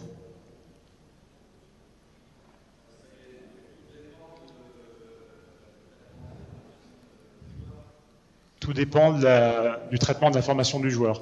Donc c'est vrai que de ce point de vue-là, les idées sont parfois un peu floues euh, chez les joueurs et parfois chez les entraîneurs. C'est-à-dire qu'on a plutôt tendance à se dire, euh, ok, je suis un peu sous pression, surtout dans les situations défavorables ou dans les situations où l'adversaire fixe. On a plutôt tendance à se dire, euh, je suis pas très bien, je vais essayer de gratter un peu de temps et de partir en avance. Et du coup, euh, on arrive sur euh, un, allègement, la phase d'allègement qui précède la reprise d'appui, quand, quand j'allège ici, et là c'est la reprise. Cette phase d'allègement, on la déclenche avant la frappe de l'adversaire. Ce qui fait qu'on arrive au sol, on n'a pas du tout l'info euh, d'où part le volant. Et là, ça se complique un petit peu parce que on, se retrouve un petit peu planté dans le sens où euh, je suis obligé d'attendre de voir où va partir le volant. Et ce temps-là, il n'est pas du tout efficace pour, euh, pour utiliser le, musculairement ce qu'il faut pour pousser fort. Parce que l'allègement, c'est le, le même principe que le relâché serré. L'allègement ou le relâchement qui précède la contraction musculaire, elle est intéressante parce qu'elle va permettre d'avoir une contraction musculaire supérieure euh, à la même situation s'il n'y avait pas eu d'allègement. D'accord? Sauf que si le temps entre les deux il est trop important, eh ben euh, ça sert plus à rien. On se retrouve, euh, on se vraiment lourd sur le démarrage et difficile de, gagner ce temps-là qui est précieux sur les déplacements de BAD. Donc, à la fin de la fin, je parle beaucoup, mais euh, l'allègement, l'allègement, il a lieu au moment de la frappe de l'adversaire. Et la reprise d'appui, elle a lieu, le volant, il, est déjà euh, au-dessus du filet et même parfois euh, après dans, mon terrain. D'accord? Donc en fait, plus on va être relax sur, c'est pour ça que sur l'exercice précédent, c'était intéressant de mettre le focus là-dessus, plus on va être relax sur le, sur le moment de, du timing, et plus ça va permettre de démarrer vite. C'est un petit peu contradictoire. Voilà, donc on va, on va repartir avec cette idée.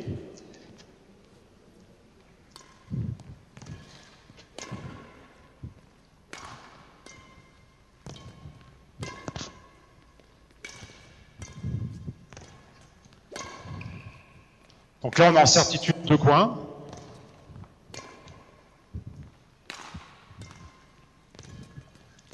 Ah, on a changé. Qu'est-ce que vous avez observé Du coup? Est-ce que la reprise, enfin l'allègement, il est en même temps que ma frappe? Est-ce qu'il est avant? Est-ce qu'il est après? Vous avez vu ça ou pas? Ils sont timides. Hein non, personne Qu'est-ce que t'en penses, Walwan En même temps Donc l'allègement, il est en même temps que ma frappe. Avant? Ok. Donc ça veut dire que tu peux décaler un petit peu, y aller plus tranquille, t'attends un tout petit peu plus, et quand je touche le volant, là seulement à ce moment-là, tu, tu, tu déclenches l'allègement. D'accord On réessaye une fois, allez. Ouais, c'est mieux. On sent qu'elle est plus, euh, plus relaxée, plus facile pour aller vers, vers le volant, même si on est en certitude. Ok. Vous passez tous les quatre sur la même chose? Donc on va le faire en, certitude encore un petit peu. Allez-y, prenez des volants. Donc juste deux coins devant derrière. Et on essaye de retarder un petit peu la phase d'allègement. Euh, voilà, tranquille, il n'y a pas de pression, vous savez où va le volant. On essaye de s'alléger psychologiquement de la pression de la frappe adverse parce qu'on sait qu'on a de la confiance et qu'on va pouvoir aller euh, dessus facilement. Allez, c'est parti.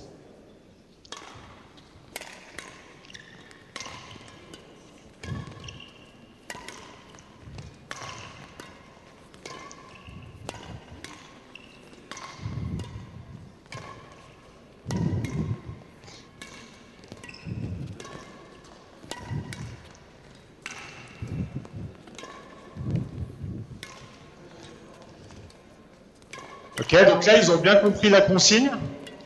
Ils sont euh, dans le bon tempo. Maintenant, on va accentuer le fait qu'après ce relâchement, Au moment où vous prenez la reprise d'appui, à ce moment-là, on, on, essaye de pousser plus fort vers le volant. D'accord? On part pas avant, on reste toujours sur le même timing, on prend le temps. Mais une fois que les appuis reviennent au sol, là, ça pousse beaucoup plus fort vers le volant. OK? Allez, c'est parti.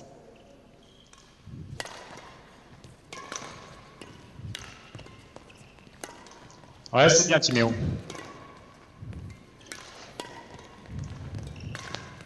Là, c'est vraiment important, je pense, de travailler sur cet aspect des choses avec les plus jeunes, parce qu'ils ont souvent tendance, là on voit vraiment des, différences qui apparaissent, ils ont souvent tendance à rester tout le temps sur le même rythme de déplacement. Donc il faut qu'ils comprennent qu'il y, a une phase où on peut, euh, en fonction de la, situation, on peut euh, ralentir le déplacement ou même s'arrêter, et une autre phase où c'est important d'accélérer. On passe sur la même chose, mais en incertitude. C'est-à-dire qu'on garde devant, derrière, mais euh, on a le droit, disons, de redoubler autant qu'on veut derrière et une seule fois devant par contre. D'accord? Allez, c'est parti.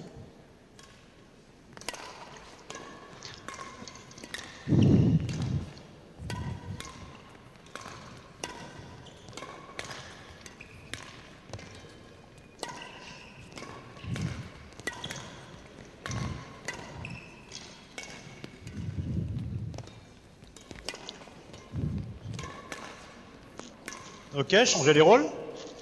on a pu voir que déjà ça se transforme pas mal. Un Timéo, il gicle beaucoup plus vite après la reprise d'appui que tout à l'heure. Donc euh, c'est intéressant. Allez, on change les rôles. Pareil, tranquille sur la reprise d'appui. On prend le temps qu'il faut. Il n'y a pas d'urgence, il n'y a pas de panique à avoir.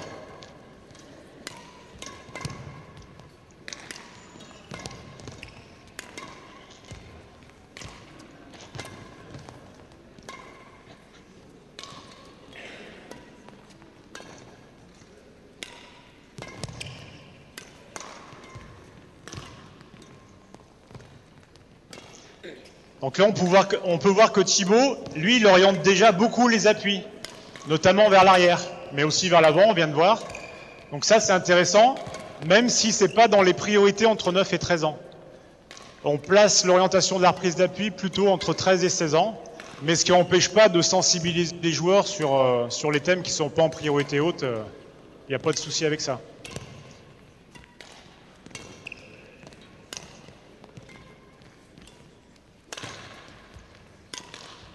Par contre, vous voyez que, que Thibaut, il a des fois tendance à attendre un petit peu la frappe suivante.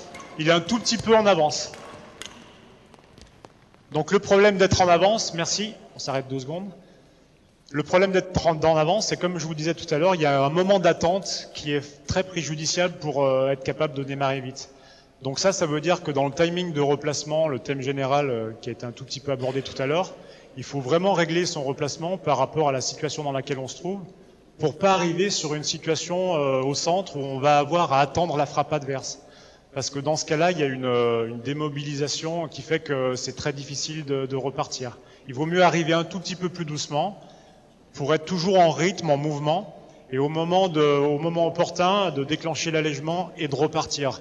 Si, par contre, si j'accélère, je vais avoir à revenir beaucoup plus vite sur, sur le, le replacement. Ok, donc là, on élargit un petit peu. Là, on était sur le timing de la reprise d'appui. Là, on élargit un petit peu à tout ce qui est timing de déplacement, de replacement, mais, euh, ça permet de sensibiliser les, les joueurs. C'est pas parce que euh, tous les thèmes ne sont pas dans, euh, les 9-13 ans en priorité haute qu'il faut jamais les aborder. Hein. L'entrejeu, tous les thèmes un petit peu tactiques, vous, verrez en décortiquant un petit peu si vous l'avez pas déjà fait. Tous les thèmes un petit peu plus tactiques, ils sont plutôt positionnés sur 16-19 ou 13-16. Parce qu'on a fait le choix qui était plutôt pas très conscient au moment où on l'a fait, je pense, mais euh, le résultat c'est celui-ci. Euh, c'est que tout ce qui est tactique, c'est plutôt positionné euh, entre 13 et 19. alors que sur 9-13, on a vraiment voulu mettre le focus sur tout ce qui est qualité de motricité, de coordination, en lien avec la technique BAD. Parce qu'on se dit qu'après 13 ans, c'est beaucoup plus difficile à transformer et, et que ça peut devenir très vite rédhibitoire par rapport à un objectif de haut niveau. Ok. Euh, on va passer à la même chose, mais cette fois, il y a de l'incertitude. Vous avez le droit de redoubler devant, mais pas derrière. Derrière, c'est forcément une fois, et vous avez le choix sur deux fois devant euh, ou trois fois devant. Allez, c'est parti.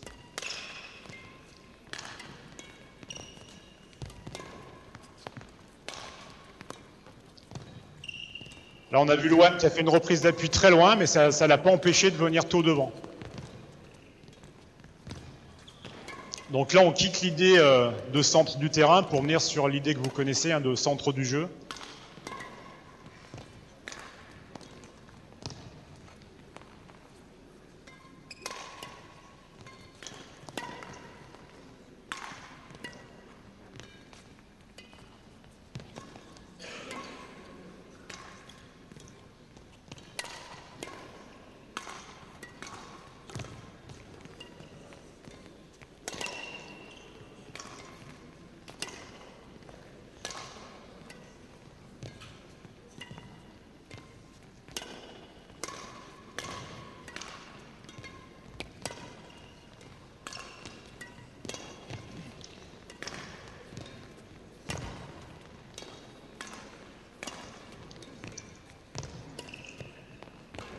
Ok. Merci. Euh, Qu'est-ce que vous voyez? Est-ce que vous voyez un changement par rapport au début? Pas de changement? Est-ce qu'il y a des choses, selon vous, euh, sur lesquelles on pourrait insister un petit peu plus Même si euh, l'idée, c'est pas d'aller trop loin dans, l'analyse du thème. Mais, euh. Donc là l'intérêt de ce type de situation, c'est vraiment de remettre le volant dans le contexte parce que quand on parle de timing, évidemment, c'est par rapport au volant et par rapport à la frappe adverse. Euh, donc, euh, donc après, on peut faire évoluer, euh, c'est pareil, hein, c'est des situations, simples que vous connaissez tous, que ce soit multivolant, poste fixe comme là, etc., routine.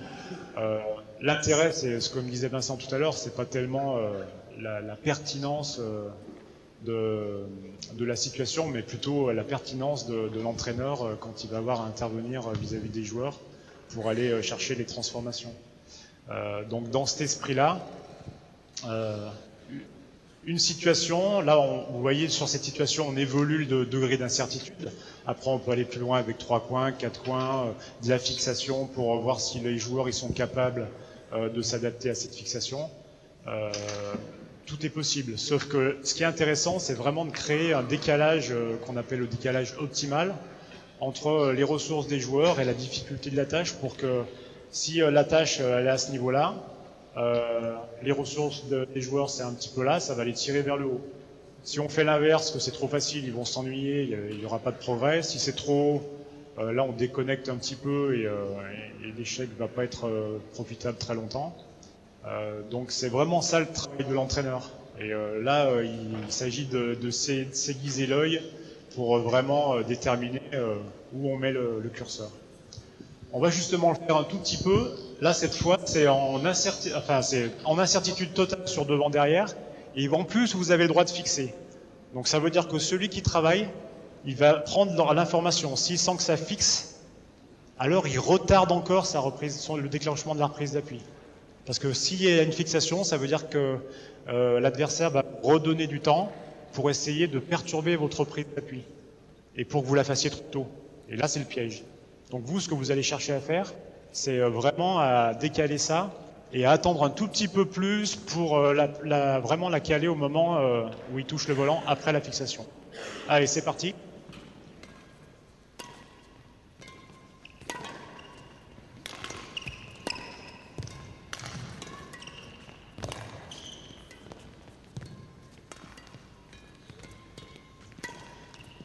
On garde bien l'idée, même s'il y a une fixation, de prendre les infos, comme je vous dis, mais d'être très relax avant de, gicler du centre. Donc prenez les infos et cherchez le bon timing pour euh, déclencher l'allègement.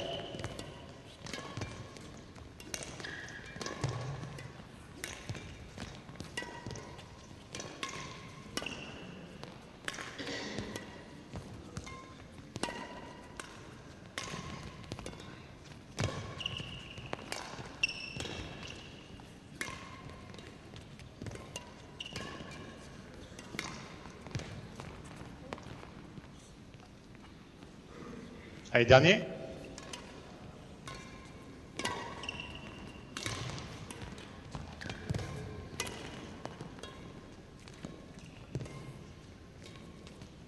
Ok, merci.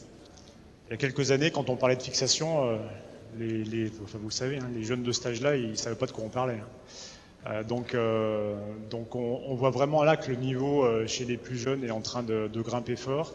Si en plus on leur amène les bonnes fondations, je pense qu'on a, on a des chances de les voir sur les terrains de l'autre côté dans quelques temps. voilà. donc là, vous avez vu, hein, y a, globalement, les fixations, elles existent. je pense qu'on doit encore les, les développer en France, mais elles existent. Euh, et, quand elles existent, là, ils sont capables d'adapter euh, leur vitesse de, déplacement et leur timing de reprise d'appui euh, sans trop de problèmes. On passe à un exercice suivant. Là, on était sur le timing. Là, on va chercher sur l'exercice suivant à, solliciter beaucoup de fréquences. Donc là, on se rapproche un petit peu plus d'une situation de double, pardon.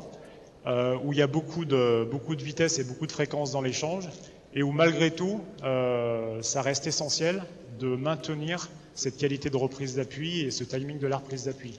Donc ce qui n'est pas évident, parce que plus il y a de fréquence, plus c'est difficile à, caser. Ok? Donc, Luan, on va essayer, pose le volant. Euh, je fais une relance la main haute où je mets un petit peu de vitesse sur elle, et entre chaque frappe, il faut que tu te tiennes prête parce que ça se trouve, je vais t'envoyer un volant devant. D'accord?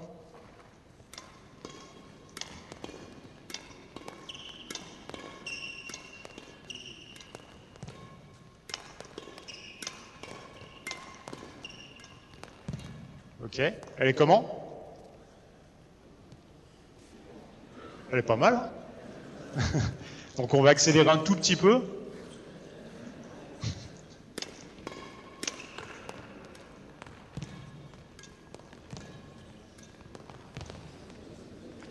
Ok, t'es bien, t'es bien. Ok. Donc vous allez euh, faire la même chose. Donc on va voir si euh, la relance vous pose des, petits problèmes ou pas. Il est possible que ça leur pose des problèmes. Hein. C'est pas une relance qui est euh, très facile, mais si vous avez bien lu le document qui est en ligne depuis trois semaines, c'est pas grave. c'est intéressant d'aller sur un partenariat où, où, très jeunes ils sont capables de relancer. Donc si on perd un peu de temps euh, là-dessus à l'entraînement, là, si ça marche pas, c'est pas grave, hein, je le ferai un petit peu et on n'en parlera pas. Mais, euh, sur, sur l'apprentissage de, de, de, la relance, c'est très important si on veut obtenir un partenariat qui, qui se développe. voilà, allez, on essaye T'as déjà fait? Il a jamais fait. T'as déjà fait? Allez. Bah, vas-y, si t'as déjà fait, fais-le. Tu l'as déjà fait toi? Non? Vas-y, essaye. Mettez-vous en face. Pas grave. Donc rapproche-toi du filet, tu montes le volant et tu tapes en descendant. Tranquille, pas trop fort. Voilà, très bien. Ok. Pas grave. Un peu plus haut. Ok. Bon, donc là, il y aura un petit apprentissage à faire. Mais c'est pas grave. Vous pouvez ramasser juste les volants. On va passer avec Timéo. Timéo. T'as déjà essayé, toi, je crois? Tiens. Euh, Catel, tu veux être en face? Va de l'autre côté, il pas de. Va de l'autre côté, il n'y a pas de volant. C'est bon, t'en as assez? Timéo, c'est bon, t'en as assez? Vas-y, vas-y. T'as ta raquette?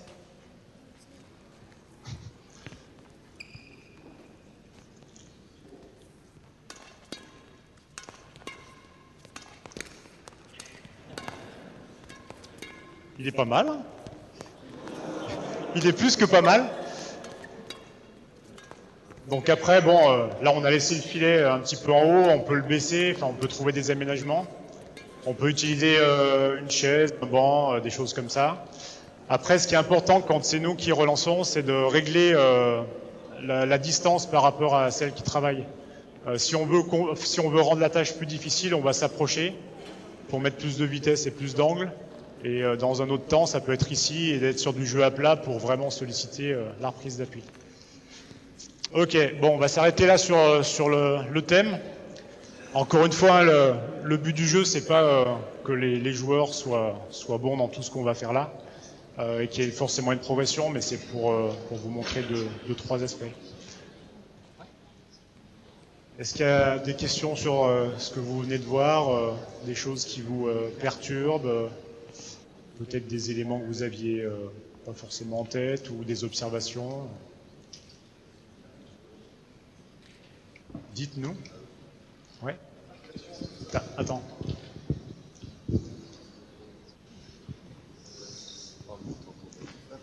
Bien. Est-ce que sur une fixation, ça se fait de faire une double reprise? Ça y est. Vous voyez Ouais. ce que je veux dire ou pas? Bah, quand- oui, effectivement, quand il y a une fixation, on a dit tout à l'heure que ça perturbait la reprise de- d'appui de, l'adversaire. Euh, à partir du moment où, euh, où la reprise d'appui elle est déclenchée trop tôt euh, et qu'on constate qu'il y a une fixation, peut-être qu'on va en avoir en remettre une deuxième, mais c'est c'est pas ce qui va être le plus efficace parce que ça veut dire qu'on va pomper deux fois et, euh, euh, oui, on va pouvoir partir, mais je pense moins efficacement que si on avait pu prendre la faux qui a fixation, retarder un petit peu la fixation parce qu'on conserve plus de relâchement musculaire. Donc ça permet de jouer vraiment sur ce contraste de relâchement musculaire et explosivité. C'est plus efficace d'en faire une que d'en faire deux ou même d'en faire trois. hein. Parce que ce qu'on constate sur ce thème, euh, c'est que globalement, euh, soit les plus jeunes, ils font pas de reprise d'appui du tout, euh, soit ils en font une, mais trop tôt. Donc c'est vraiment cet axe-là qu'il faut, faut développer, je pense, avec les plus jeunes, pour qu'ils aient la bonne représentation de, ce qu'il faut faire. Et après, l'intérêt d'en faire qu'une, ou, alors il y en a qui, qui, le, qui en font dix et qui attendent comme ça, mais là on perd beaucoup d'énergie, on n'est pas dans, le bon timing par rapport au volant, euh, on perd sur tous les, domaines, que ce soit physique ou, euh, tactico-technique, parce qu'on on va pas réussir à démarrer aussi vite qu'on qu'on pourrait.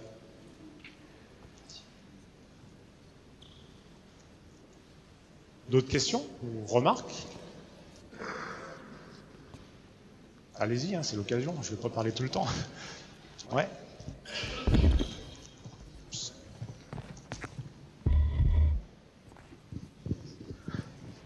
L'orientation de la... Oh, c'est fort ça. Ouais, ça surprend au début, moi ça m'a fait pareil. L'orientation de la reprise d'appui, enfin, juste après le saut d'allègement, l'orientation, on l'effectue par rapport à, une option de jeu ou par rapport à, à la trajectoire du volant, on peut en parler? Oui, alors ça, c'est un- c'est une question intéressante, même si on n'est pas dans, dans la priorité haute des, des 9-13 ans, mais euh, encore une fois, euh, la sensibilisation est, est tout à fait euh, possible à cet âge-là.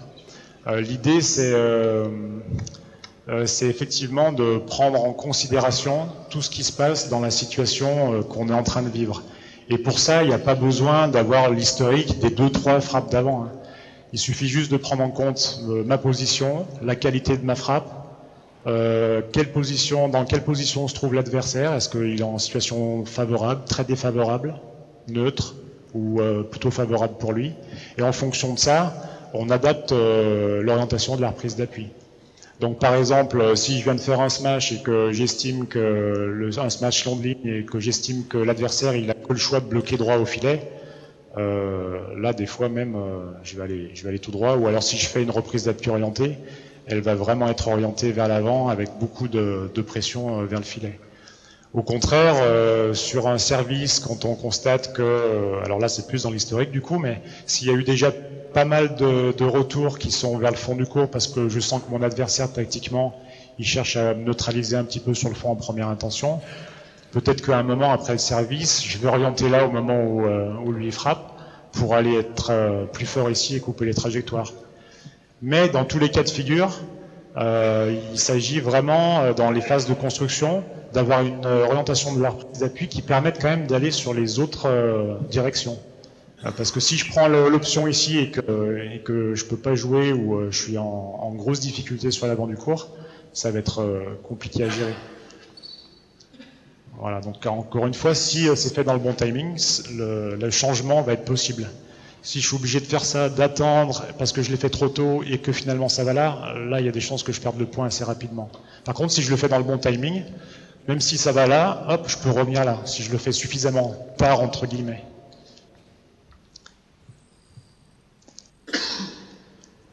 Autre question, remarque, observation?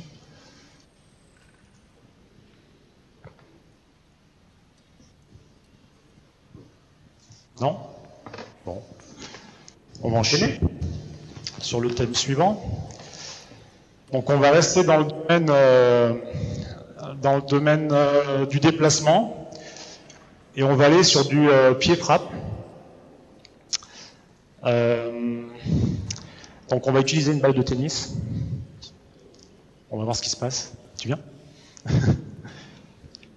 Donc pose ta raquette, viens ici, viens, viens vers moi. Donc le but du jeu, c'est euh, tu te tournes, ça met de la pression, tu vas voir. non, non, tu tournes là ici, tu regardes le filet, regarde le filet. Je vais, je vais lancer la balle, elle va venir ici, elle va faire un rebond, et tu vas aller l'attraper avec ta main. D'accord?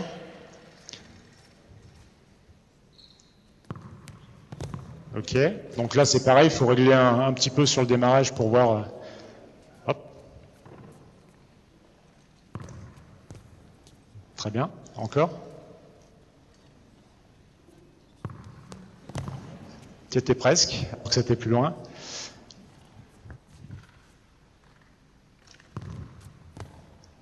Ok.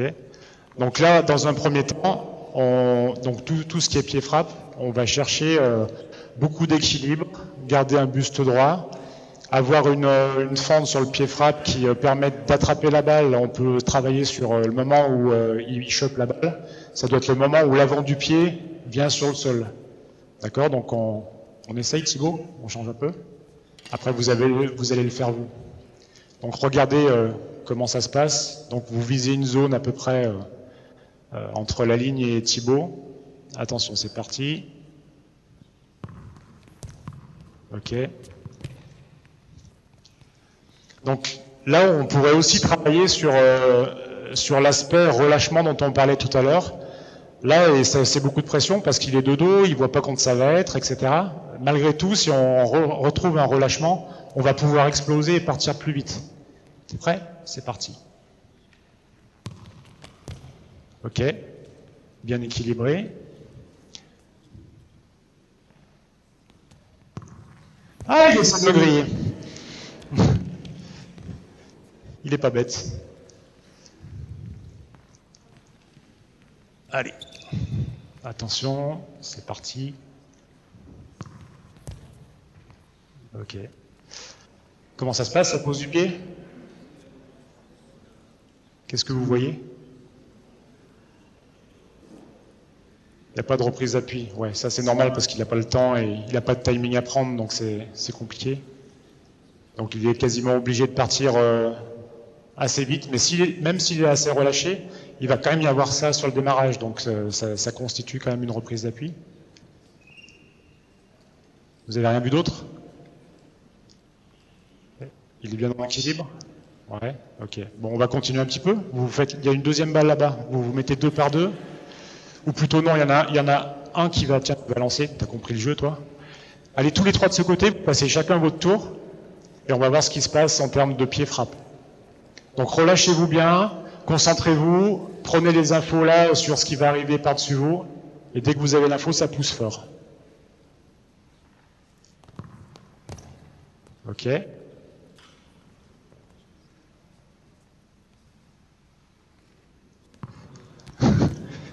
il a changé de côté. Donc là, pour l'instant, on n'envoie que sur le coup droit pour rester en certitude. Dernier. Dommage, pas mal. Ok, les filles, vous essayez? Donc là, on va travailler sur ce thème, sur euh, le timing de la pose du pied par rapport à attraper la balle. Ça peut aussi servir sur le relâché série, puisque ça contraint avec la balle à ouvrir la main, donc à détendre les doigts. Et donc on est ici sur, sur une notion de relâcher serré aussi. Euh, et puis euh, il y a aussi la notion du bras équilibrateur qui peut, qui peut être vu. Est-ce que le bras il est placé ou pas derrière? Allez, c'est parti. Elle est dure en affaire. Un tout petit peu plus haut, comme ça, ça lui laisse un tout petit peu plus de temps. Oui. Ok. Donc après, il y, a le, il y a un travail de coordination aussi. Euh, on parle de relâcher serré, mais pour attraper la balle. Ça va être toi qui va passer après, hein elle va te faire les mêmes. Hein Un peu plus en cloche. Un peu plus sans cloche encore.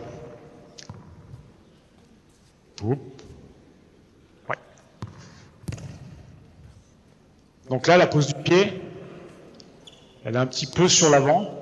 Euh, c'est important pour. Euh, on a dit tout à l'heure que le pied frappe, ça servait à bien contrôler les frappes, euh, parce qu'on est en position d'équilibre.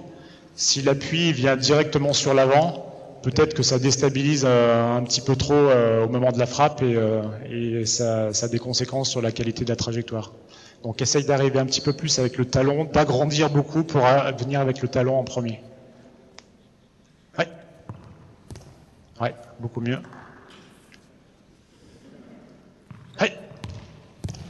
Ouais, super. Ok, on change, changer les rôles?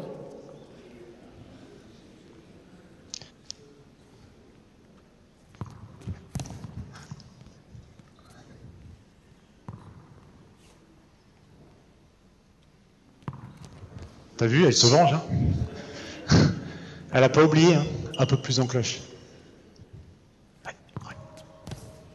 Ouais, c'est bien.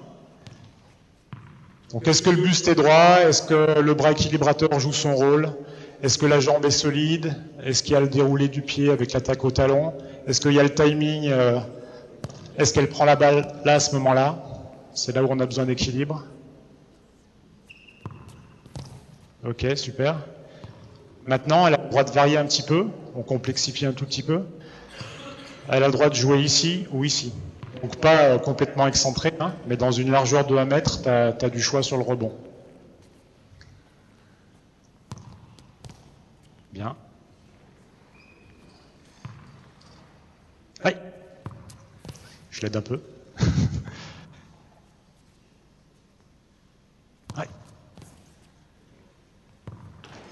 La suite, ça peut être, euh, euh, tu vas mimer le premier pas de replacement. Donc tu viens chercher la balle, tu fais le premier pas de replacement et tu cales la reprise d'appui tout de suite derrière.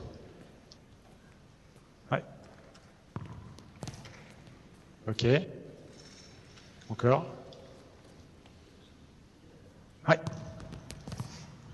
Changement de côté, là, ça perturbe un peu.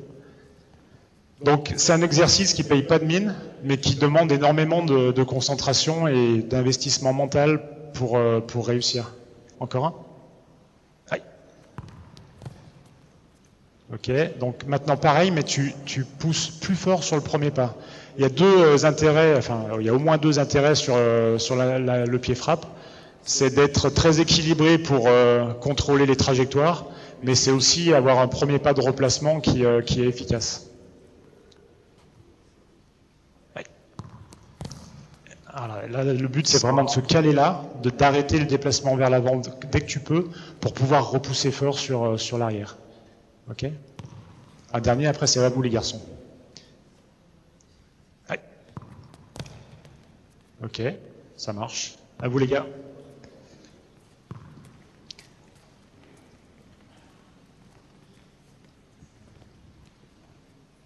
Ouais. Un peu plus en cloche.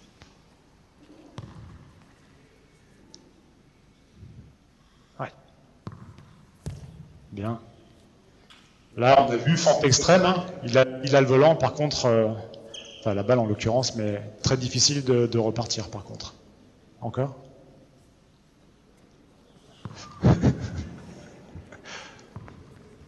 Plus haut, donne-toi une cible ici, qui, euh, qui, est à peu près juste devant lui. Recule un tout petit peu, il va pas envoyer aussi loin. Qui est juste ici et dans une largeur pas plus large que ça, pas après. Encore un peu plus haut.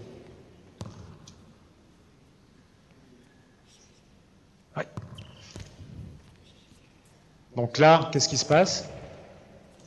Donc là, il stabilise bien, mais il se relève et il attend un petit peu là. Donc on essaye maintenant de faire la même chose, de prendre et de repousser euh, un pas vers l'arrière.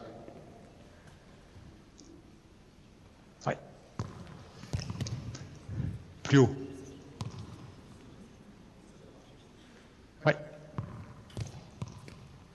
Ok. Euh, donc après les évolutions, ça peut être euh, euh, mimer, voilà, choper la balle, reculer, mimer une frappe fond de cours, prendre la balle, revenir, venir attaquer au filet. Enfin, y a, tout est possible hein, sur cette base. Mais vous voyez que c'est un exercice qui, même pour le relanceur, est, pas facile à intégrer parce que ça demande beaucoup de concentration sur la trajectoire et ça, c'est aussi intéressant dans notre discipline. hein. C'est de visualiser un peu la trajectoire qu'on veut produire, euh, même avec une balle, même un peu décontextualisé. On est vraiment sur des apprentissages euh, moteurs qui peuvent être euh, intéressants. Ok, merci là-dessus. L'exercice suivant sur le, pied frappe. Donc là, on est sur le pied frappe sur l'avant du, du terrain plutôt. Là, on va passer sur un multivolant où le pied frappe va plutôt être sur l'arrière, non sur un poste fixe d'ailleurs. Thibaut, tu viens, prends ta raquette. Donc, je vais fixer Thibaut un petit peu sur l'avant du cours au centre euh, pendant une, deux, trois frappes. Et à un moment, je vais envoyer Thibaut sur ton fond et euh, certainement tu seras en retard. Donc tu fais une frappe en retard qui revient euh, au centre sur l'entrejeu. Là, à nouveau, euh, l'entrejeu, c'est pas un thème euh, qui est prioritaire sur les 9-13 ans, mais ça n'empêche pas du tout de, venir sur ce type de situation, euh, caser un petit coup de sensibilisation sur, sur ce truc-là, parce que c'est des trajectoires qui sont intéressantes malgré tout. Ok, c'est parti.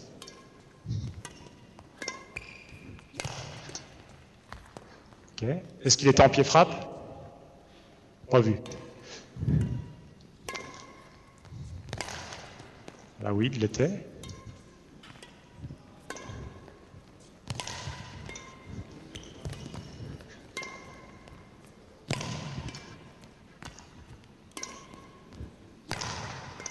Donc là, il s'applique beaucoup plus à respecter le principe du pied frappe, contrairement à la première frappe où euh, il a voulu prendre, couper la trajectoire un peu trop tôt. Ça aussi, c'est intéressant avec les jeunes joueurs de reconnaître dans quelle situation ils se trouvent pour adapter euh, le, le- le pied frappe, pied frappe, un pied frappe intermédiaire, puisque contrairement euh, à l'avant du cours ou sur le mi-cours, sur l'arrière du cours, on a aussi le, le choix, la possibilité de faire un faux pied frappe entre guillemets, c'est-à-dire qu'on on rapproche la frappe de la pose du pied, même si c'est pas exactement en même temps. Ça permet juste, pour le coup d'après, d'être plus performant sur le replacement et de rester, euh, de maintenir, de se maintenir dans l'échange. Euh, là, la première intention de Thibaut, ça a été d'accélérer. Il est en retard, mais tant pis, euh, le, pre- le premier volant, tu as voulu euh, jouer vite. Le problème de ça, c'est que c'est pile ou face. Euh, il joue vite, il est en retard. Soit il marque euh, le point, soit le volant, il revient et c'est lui qui perd le point. Sauf que la majorité du temps, le volant, il va revenir, d'autant plus quand les niveaux en face, ils, vont s'élever, euh, les niveaux de jeu. Donc ok, encore un.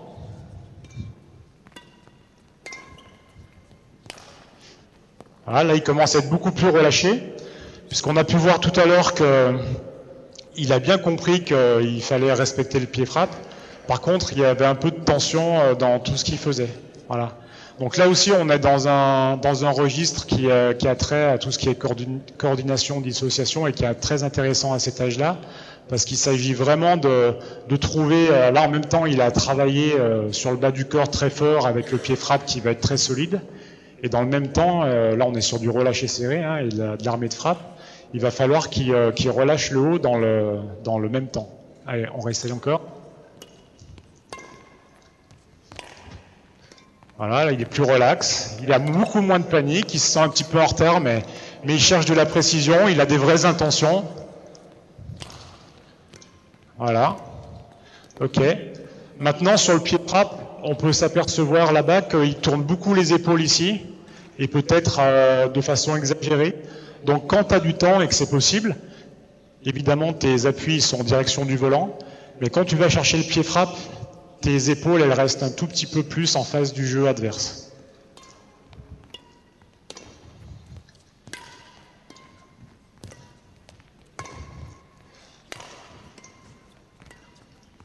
Ah, il est là. Là voilà, sur une très grande cloche aussi. Euh, il est en situation où euh, il n'est pas réellement dans un grand retard, mais il va se retrouver très loin euh, dans le terrain.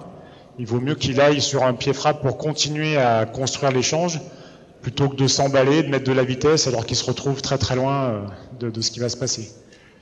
Ok. Ensuite, on va faire la même chose sur le côté revers. On va changer, Timéo.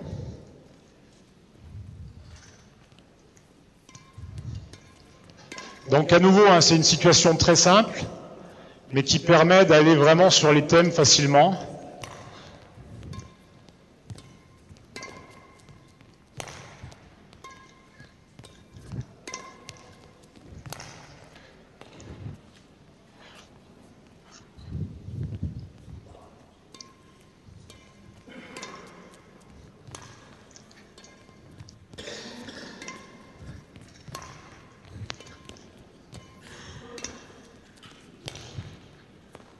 Vous en dites Comment est son pied frappe? Est-ce qu'il est dans le bon tempo? Ouais. Là, si vous aviez à bosser avec lui, vous vous iriez sur quoi? Sur, sur les quatre frappes qu'on vient de voir.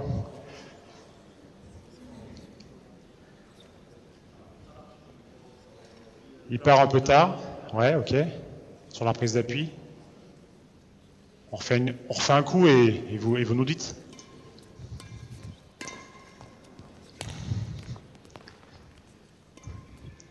Ça peut être un thème différent. Hein.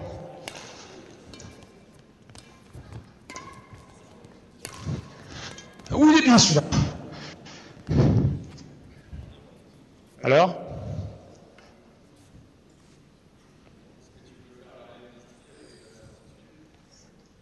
Euh, oui, je vois pas qui me parle. Ouais. Est-ce qu'on peut faire de la, même chose avec de l'incertitude? Oui, évidemment. Là, si on veut rester sur le même thème, en tout cas pour l'instant. Ouais, là, on a du mal à avoir un vrai problème, c'est ça que tu me dis? Un vrai problème de pied frappe euh, chez Timéo.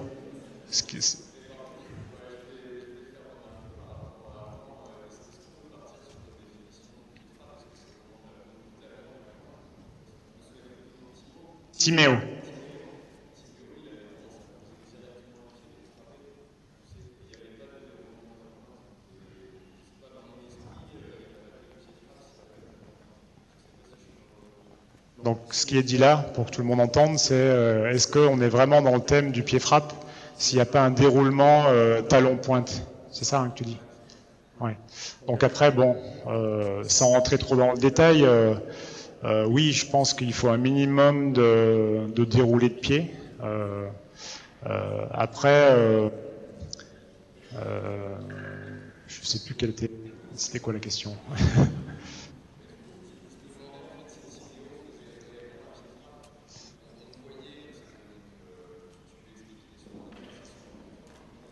oui, oui.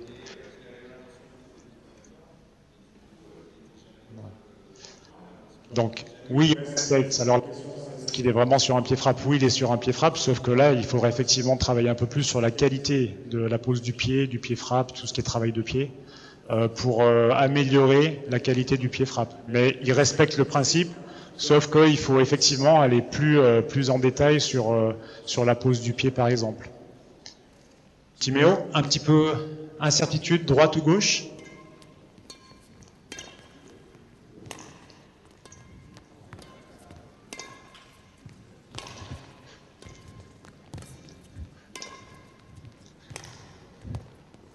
Qu'est-ce qui s'est passé sur cette dernière frappe? C'est un problème qu'on rencontre, à mon avis, souvent chez les jeunes. Pourquoi le volant, il passe pas le filet? Ouais.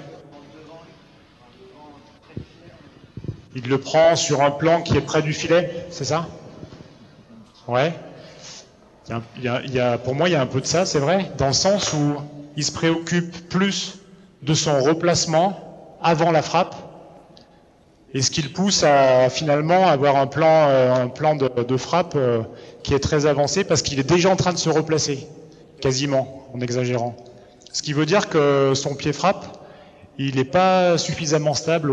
Il, y a un pied, il, y a, il y a un pied qui vient au sol, sauf qu'il se dérobe beaucoup trop vite par rapport au moment de la frappe.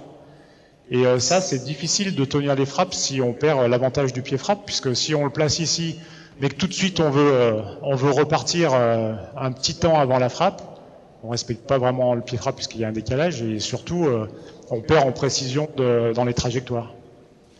Ok? Donc quand c'est sur le revers, plutôt que d'être très pris sur ce qui va se passer sur le coup d'après, sur l'avant du cours, parce que tu as un petit peu peur de pas de pas être là, prends le temps de la frappe, et toi ton objectif c'est d'avoir une bonne qualité de frappe. L'autre thème auquel je pensais tout à l'heure, c'est euh, le pied frappe, le timing, en tout cas le- la correspondance entre la pose du pied et la frappe était respectée. Euh, par contre, euh, en haut là, c'était un peu euh, serré, d'accord? Même euh, chose qu'on disait tout à l'heure, hein, c'est parce que quand on, on est fort en bas, euh, c'est difficile de se relâcher en haut. Donc peut-être que l'évolution, ça serait de respecter euh, le pied frappe, mais en étant plus relax sur le haut. Et peut-être que là, tu peux trouver des trajectoires comme tu m'as fait tout à l'heure. Là, il y en a une qui, était bien. Tu cherches à reproduire d'abord la, la bonne trajectoire et à te replacer euh, tranquillement, un peu plus tranquillement. Ouais.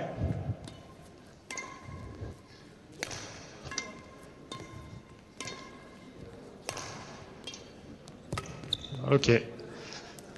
Donc là, il respecte un peu plus le principe de pied frappe parce qu'il reste un petit peu plus longtemps pendant la frappe, ce qui lui permet de, de, de revenir assez efficacement. Bon après là, il est, le dernier euh, échange, il perd, mais euh, moi je suis au centre, euh, je peux le prendre tôt, euh, et puis euh, il donne pas beaucoup d'angles, mais mais euh, en match, il aurait le choix. Là, la consigne c'était au centre, mais il aurait le choix d'aller chercher sur les côtés l'entrejeu. Et là, le résultat, c'est pas le même. Son adversaire, il va pas venir prendre le volant là s'il passe un petit peu plus sur les côtés, ou en tout cas si à nouveau on met, on remet de l'incertitude. Ok. Euh,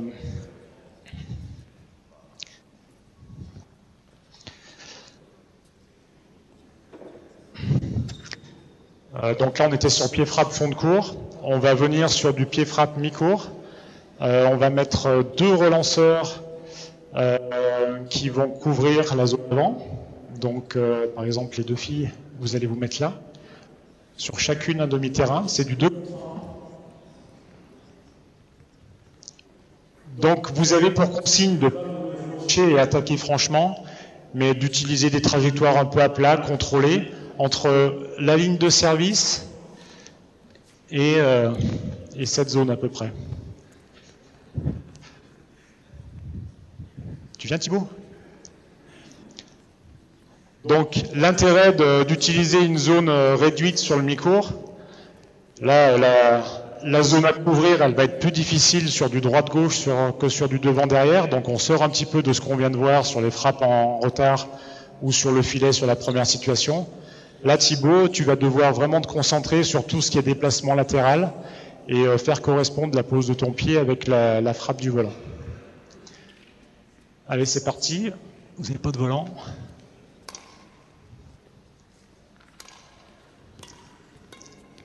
Donc tu peux jouer mi-court ou sur l'avant du court, Thibaut. Ok.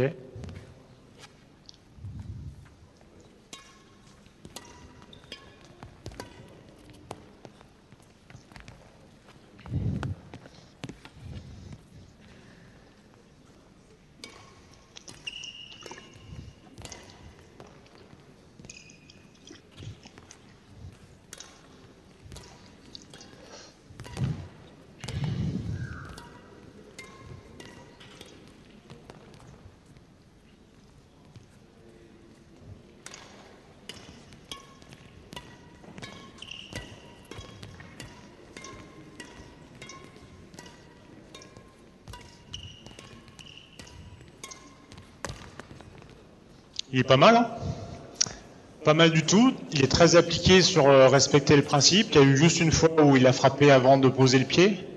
Euh, mais sinon, euh, t'es vraiment bien. Après, c'est le, même principe, c'est réussir à faire ce truc-là en étant relâché ici et en trouvant de la variation dans les trajectoires, en fixant. Enfin, après, on peut rajouter un petit peu ce qu'on veut. Timéo, à toi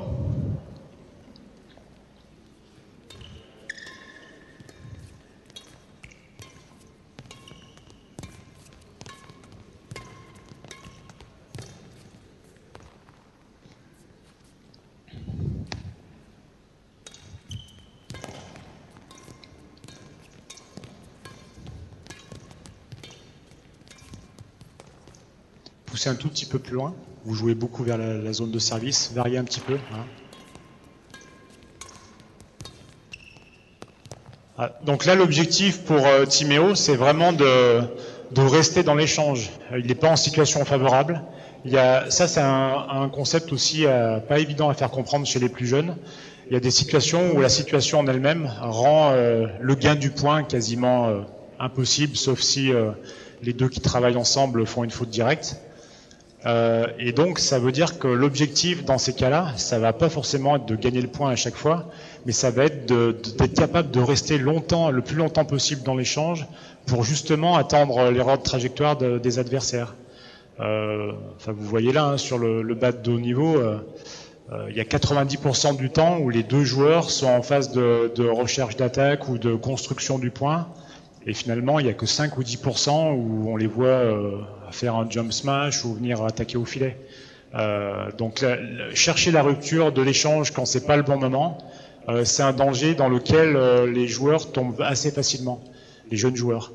Euh, donc c'est important de leur faire passer euh, ce message, de, reconnaître les phases de jeu dans lesquelles euh, il faut juste se maintenir dans l'échange en allant neutraliser les adversaires. Allez, encore un peu.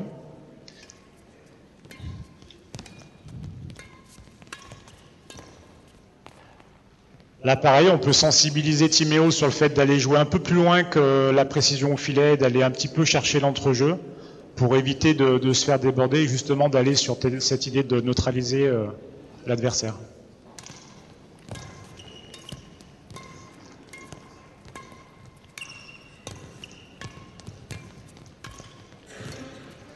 Ah, c'est très bien ce qu'il fait, il y a beaucoup d'équilibre. Euh, le pied frappe est respecté. Après, à nouveau, on, pour, on pourrait euh, délier un petit peu plus euh, ce, qui, se passe en haut. Ok? Merci les joueurs. Voilà. Il nous reste un petit thème, je reviens. Donc, est-ce que vous avez des, questions, des remarques par rapport à ce qu'on vient de voir? Pied frappe, des choses qui vous, qui vous choquent, qui vous, euh, des remarques? Oui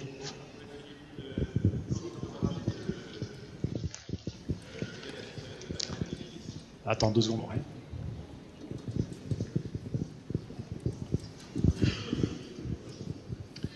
Ouais.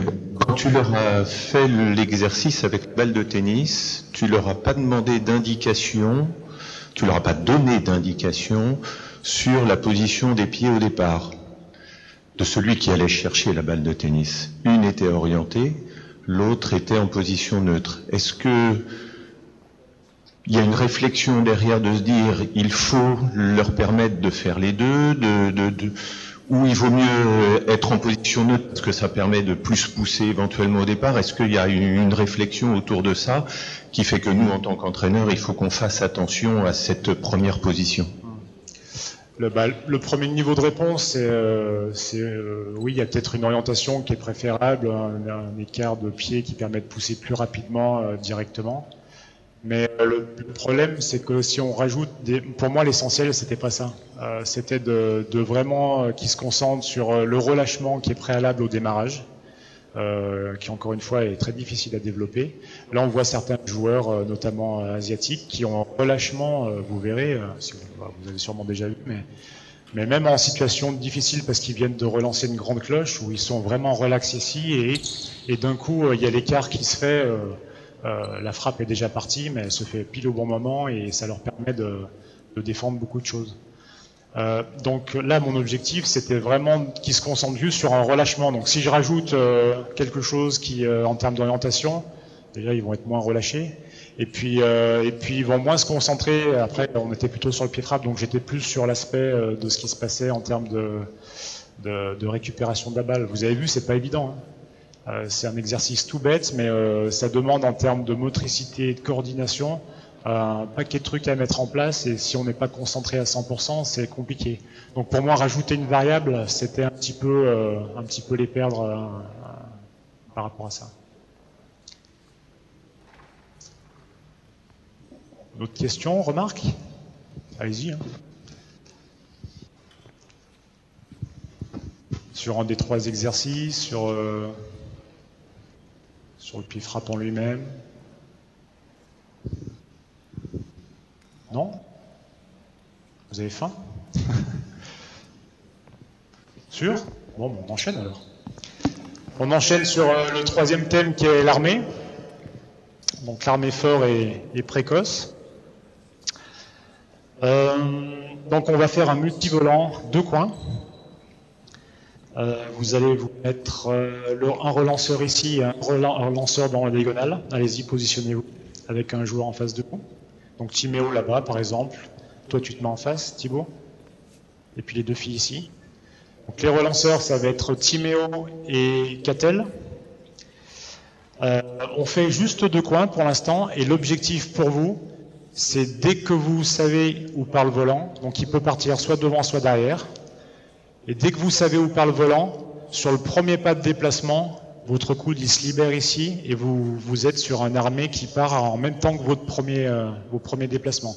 Dès que vous savez où est le volant, il y a une armée qui se met en place. On, voit ce qui se passe et on en reparle. Allez, c'est parti. Vous n'avez toujours pas de volant? Hop.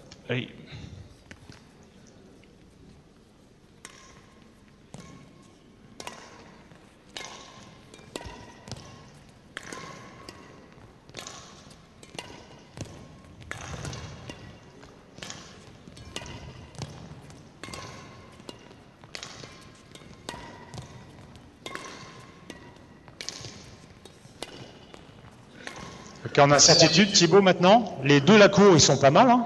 que ce soit sur l'avant ou sur l'arrière, l'armée, il se fait vraiment sur le premier pas. C'est ce qu'on demande euh, euh, aux jeunes à mettre en place euh, assez tôt. Donc on continue la même chose, sauf que maintenant, il y a plus d'incertitude sur la direction que vous donnez au volant.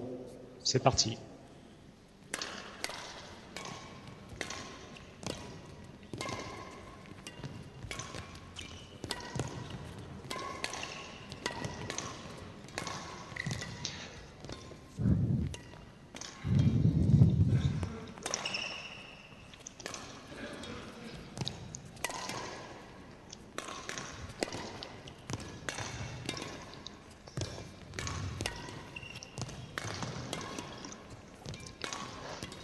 On peut voir que les, deux coudes sont, sont, écartés du buste euh, pour tous les deux. Ça, c'est très bien.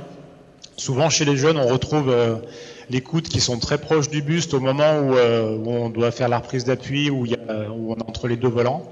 C'est-à-dire que les joueurs rengainent un petit peu trop vite et, désarment en fait leur frappe. là, c'est très bien réalisé par les deux. ensuite, le bras équilibrateur joue beaucoup aussi dans la frappe. Et euh, l'armée se fait, se fait très tôt. Vous avez déjà fait des sens là-dessus, non? Ça se voit. On change un petit peu les rôles?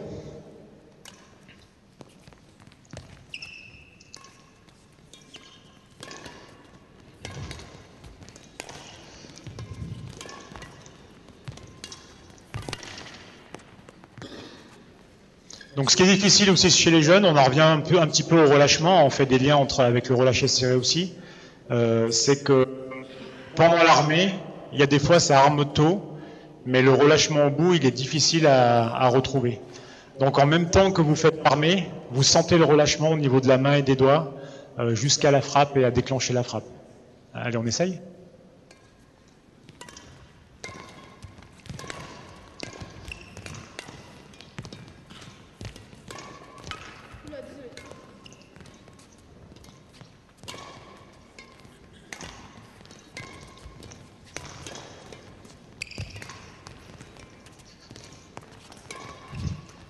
Enlève le volant là-bas, s'il te plaît.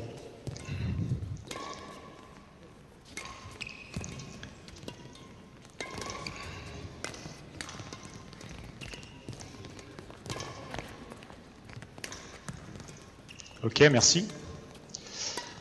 Euh, donc on voit que l'armée euh, se met assez bien en place. Après, il y aurait euh, le fait d'avoir les, les, coudes écartés, ça permet de préarmer en fait. Parce que si on a le coude ici, c'est beaucoup plus facile de venir tirer le coude pour préparer main haute, et c'est beaucoup plus facile d'installer et justement de relâcher euh, la main et les doigts. Si le coude il est déjà installé, on a moins de gestes à faire, et si on a moins de gestes à faire, il y a moins de contractions musculaires, et c'est plus facile de relâcher euh, tout ce qui est en haut, euh, main, doigts et, même avant-bras parfois. Donc, donc cette idée-là, elle n'est pas évidente à, à faire respecter parce que les, jeunes joueurs ont plutôt tendance à se recroqueviller un petit peu au moment de la frappe adverse et à se déployer un petit peu. Euh, là, ça n'était pas le cas, mais vraiment sur le dernier pas. Euh, donc il faut, euh, il faut vraiment les aider à, prendre de la place sur, sur le terrain, même si ils sont pas très hauts aujourd'hui. ça permet vraiment d'avoir une attitude qui correspond à ce qu'on attend en termes d'armée. Euh, et qui va leur permettre de, de, vraiment être installés tôt pour la frappe euh, le coup d'après et de, de, profiter de ça pour relâcher la main. Euh, ok, encore un petit peu.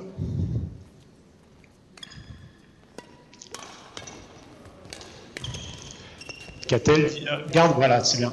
Garde le coup de libéré même entre les frappes. Le ramène pas ici.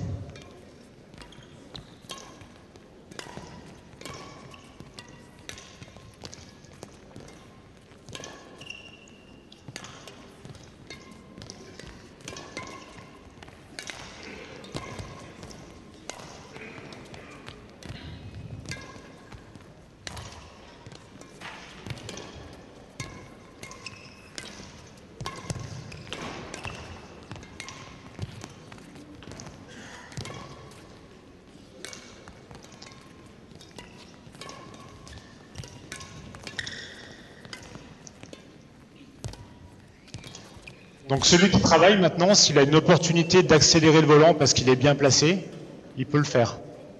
Soit vers le pilet en accélérant, soit même à plat, soit euh, en haut en smash. Parce que dans, l'armée euh, précoce, c'est ce qu'on cherche, hein, c'est euh, avoir la faculté avec le relâchement à aller sur du relâché serré, de la fixation, mais aussi à couper certaines trajectoires qui, sur lesquelles il ne serait pas possible de le faire s'il n'y a pas cette préparation euh, précoce. Donc quand on parle d'armée précoce, c'est soit sur le premier pas, comme on a vu tout à l'heure, soit même avant, euh, avant la frappe adverse, notamment dans les situations de double.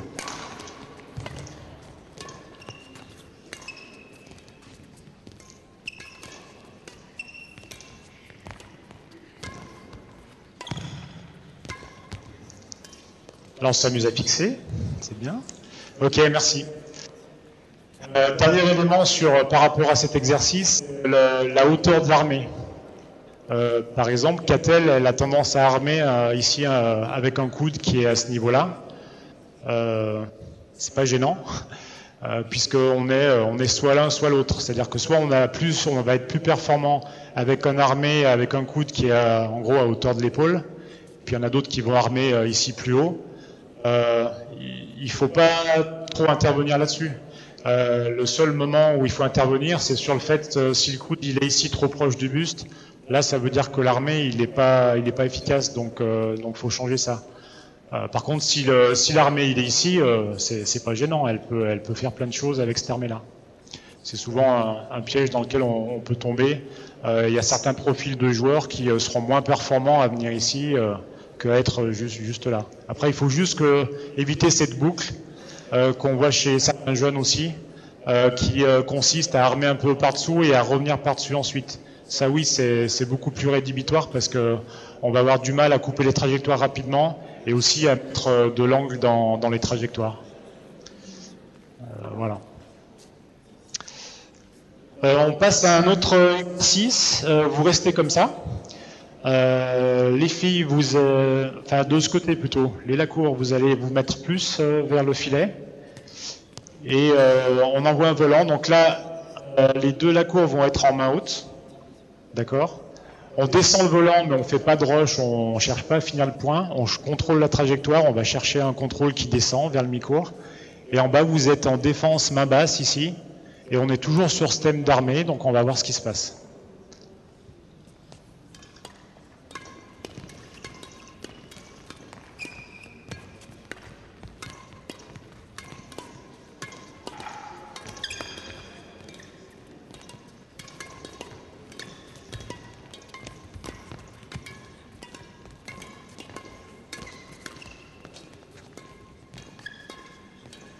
Ok, merci. Qu'est-ce que vous voyez? Les, deux côtés. Hein Qu'est-ce qui pour vous est important à, respecter dans, ce type d'exercice?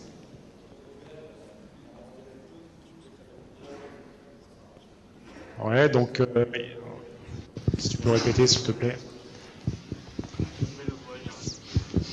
Euh, côté revers, euh, il avance bien le coude, il est bien armé, mais dès qu'il vient côté coup droit, le, le coude a tendance à se rapprocher du corps. Ouais. Donc euh, là, c'est effectivement tous- les deux, ils étaient assez avec le coude assez dégagé du corps, donc ça c'est plutôt bien. Il peut même, il pourrait même être un peu plus devant pour justement cette idée de couper les trajectoires. Après, l'idée que tu dis effectivement, c'est qu'il y a une préparation un petit peu en, en revers, et quand ça vient là, il est un peu gêné. Là, on change un petit peu de thème puisqu'on vient sur le thème de la maniabilité, qui est aussi un thème prioritaire pour les 9-13 ans. Et euh, c'est dans le relâchement à nouveau et la faculté à changer euh, de prise et de position rapidement euh, sur lequel il faudrait aller un petit peu. D'autres remarques pour ceux qui étaient en main haute? On refait encore un petit peu? Allez.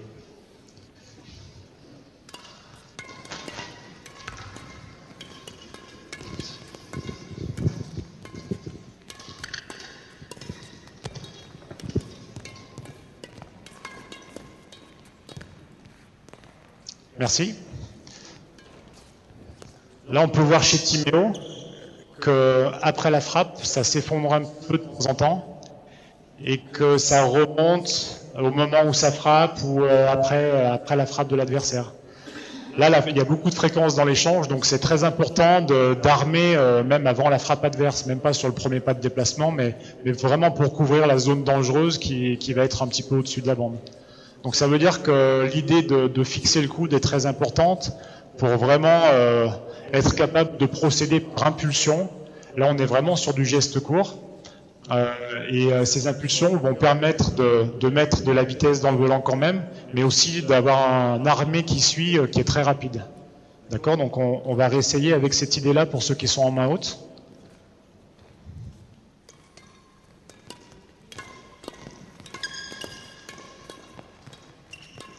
Donc là, à nouveau, on pourrait parler de relâcher serré, hein, puisque c'est en lien.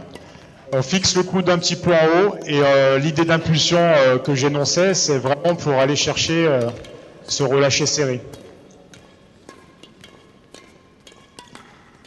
Donc on laisse le coude installé en haut, et en même temps, on relâche la main à chaque fois, entre chaque frappe. Là, on est à nouveau sur de la succession d'actions qui sont sur le plan moteur pas évidentes à mettre en place et, euh, et vraiment euh, encore moins évidentes que quand une fois qu'on a passé euh, 12 ans ou 13 ans. Donc il faut le mettre en place très tôt. Changer les rôles?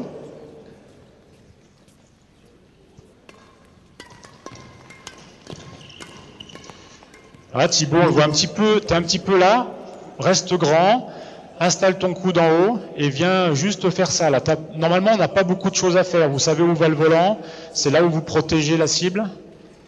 Allez, c'est parti. Un peu plus haut, un peu plus haut, grandis-toi Thibaut. Monte un petit peu plus ton coude que tu juste la main à serrer. C'est ça. Ok, Catel, c'est bien.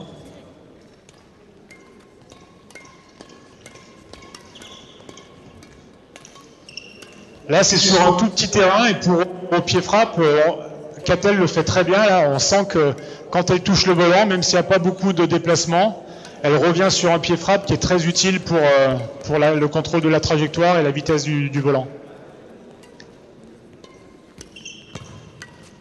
Ouais, Thibaut, il vient maintenant, c'est bien.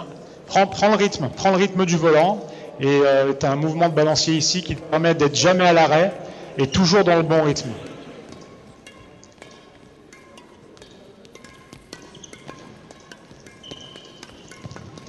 Donc là, on est en plein dans un exercice où euh, c'est petit terrain, il y a, certes pas beaucoup d'incertitudes, mais on peut quand même chercher après à aiguiller les joueurs sur aller embêter euh, le joueur en face sur euh, du droit de gauche, chercher les zones qui vont un peu plus déstabiliser pour venir sur des notions de maniabilité.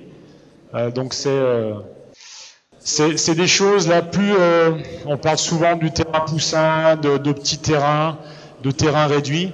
Euh, au Danemark, par exemple, c'est vraiment des exercices qu'ils utilisent très très souvent chez les plus jeunes, mais même, euh, même après, sur du 3 contre 1, euh, des, des terrains réduits, Là, ils viennent euh, de mettre en place, de sortir un programme euh, qui est validé en compétition d'ailleurs, euh, et où il est dans lequel il y a quatre jeux qui ressemblent un petit peu aux, quatre jeux qu'on met en place dans le DAD. C'est pour les moins de 13 ans.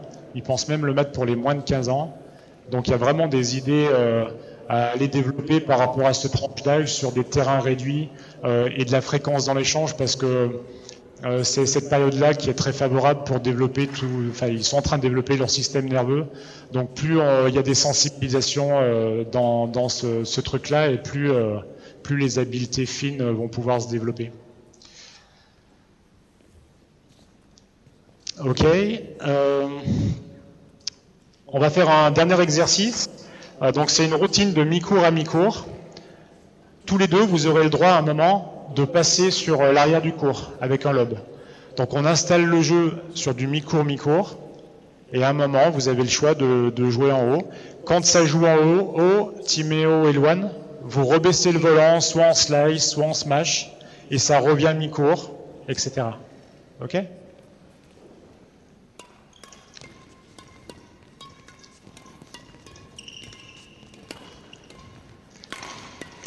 Donc là, l'intérêt de jouer mi pour mi-cours, c'est vraiment de, sensibiliser les joueurs sur cette idée de, de coude libre, de coude de décoller du, du sol, puisqu'il y a beaucoup de fréquences, du, pas du sol, mais du buste, pardon.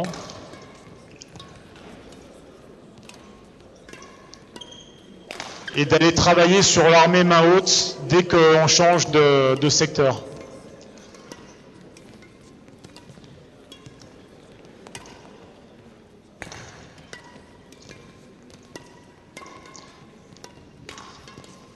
Donc ça, c'est un exercice tout simple. On retrouve euh, de l'incertitude euh, puisque euh, les, deux là ont la possibilité de passer par-dessus au moment où ils veulent.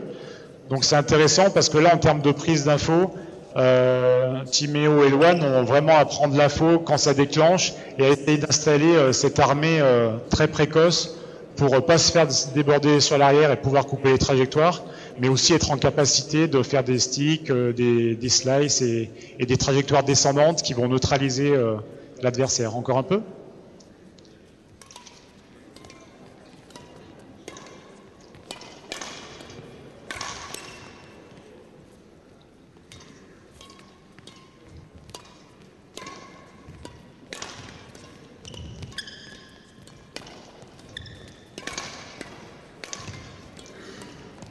Donc là, on voit aussi que ce type d'exercice développe vraiment euh, chez les joueurs des intentions d'avoir des gestes courts pour avoir une tête de raquette disponible très tôt pour la frappe suivante. On change les rôles?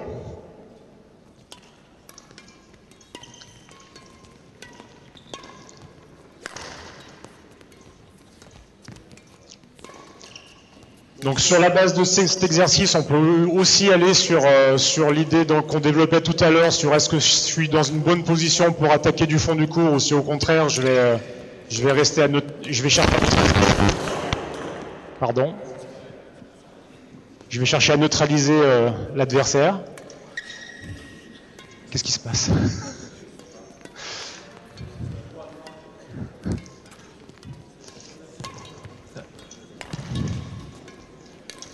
Même Luan, tu peux, tu peux chercher à passer un peu moins haut et un peu plus tendu pour vraiment obliger euh, Catel à couvrir tout ce qu'il.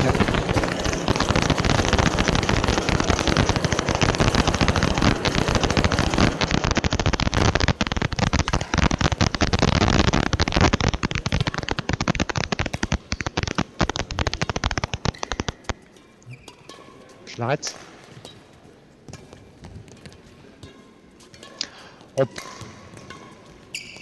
Donc on peut faire la même chose sur... Euh,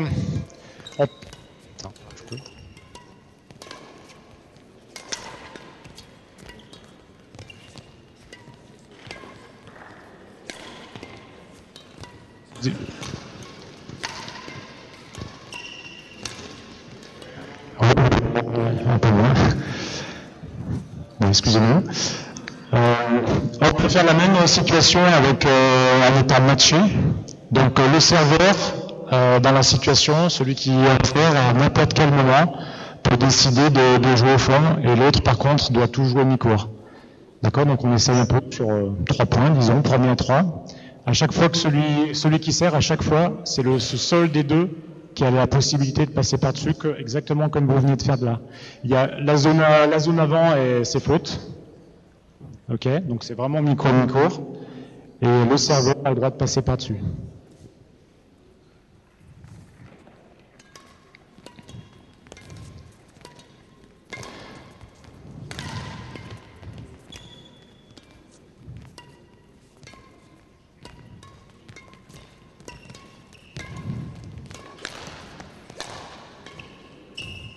Donc l'intérêt de la situation matchée, c'est vraiment de développer chez les jeunes joueurs des, des intentions euh, de jeu très fortes. Et aussi de rajouter l'aspect un peu plus mental lié euh, à gagner le combat, à être dans le duel.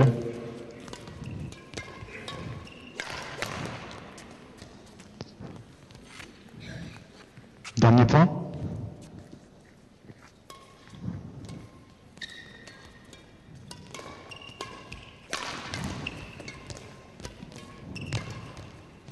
Donc là, on voit des fixations, euh, on voit des phases, beaucoup de phases où euh, on, cherche à se neutraliser.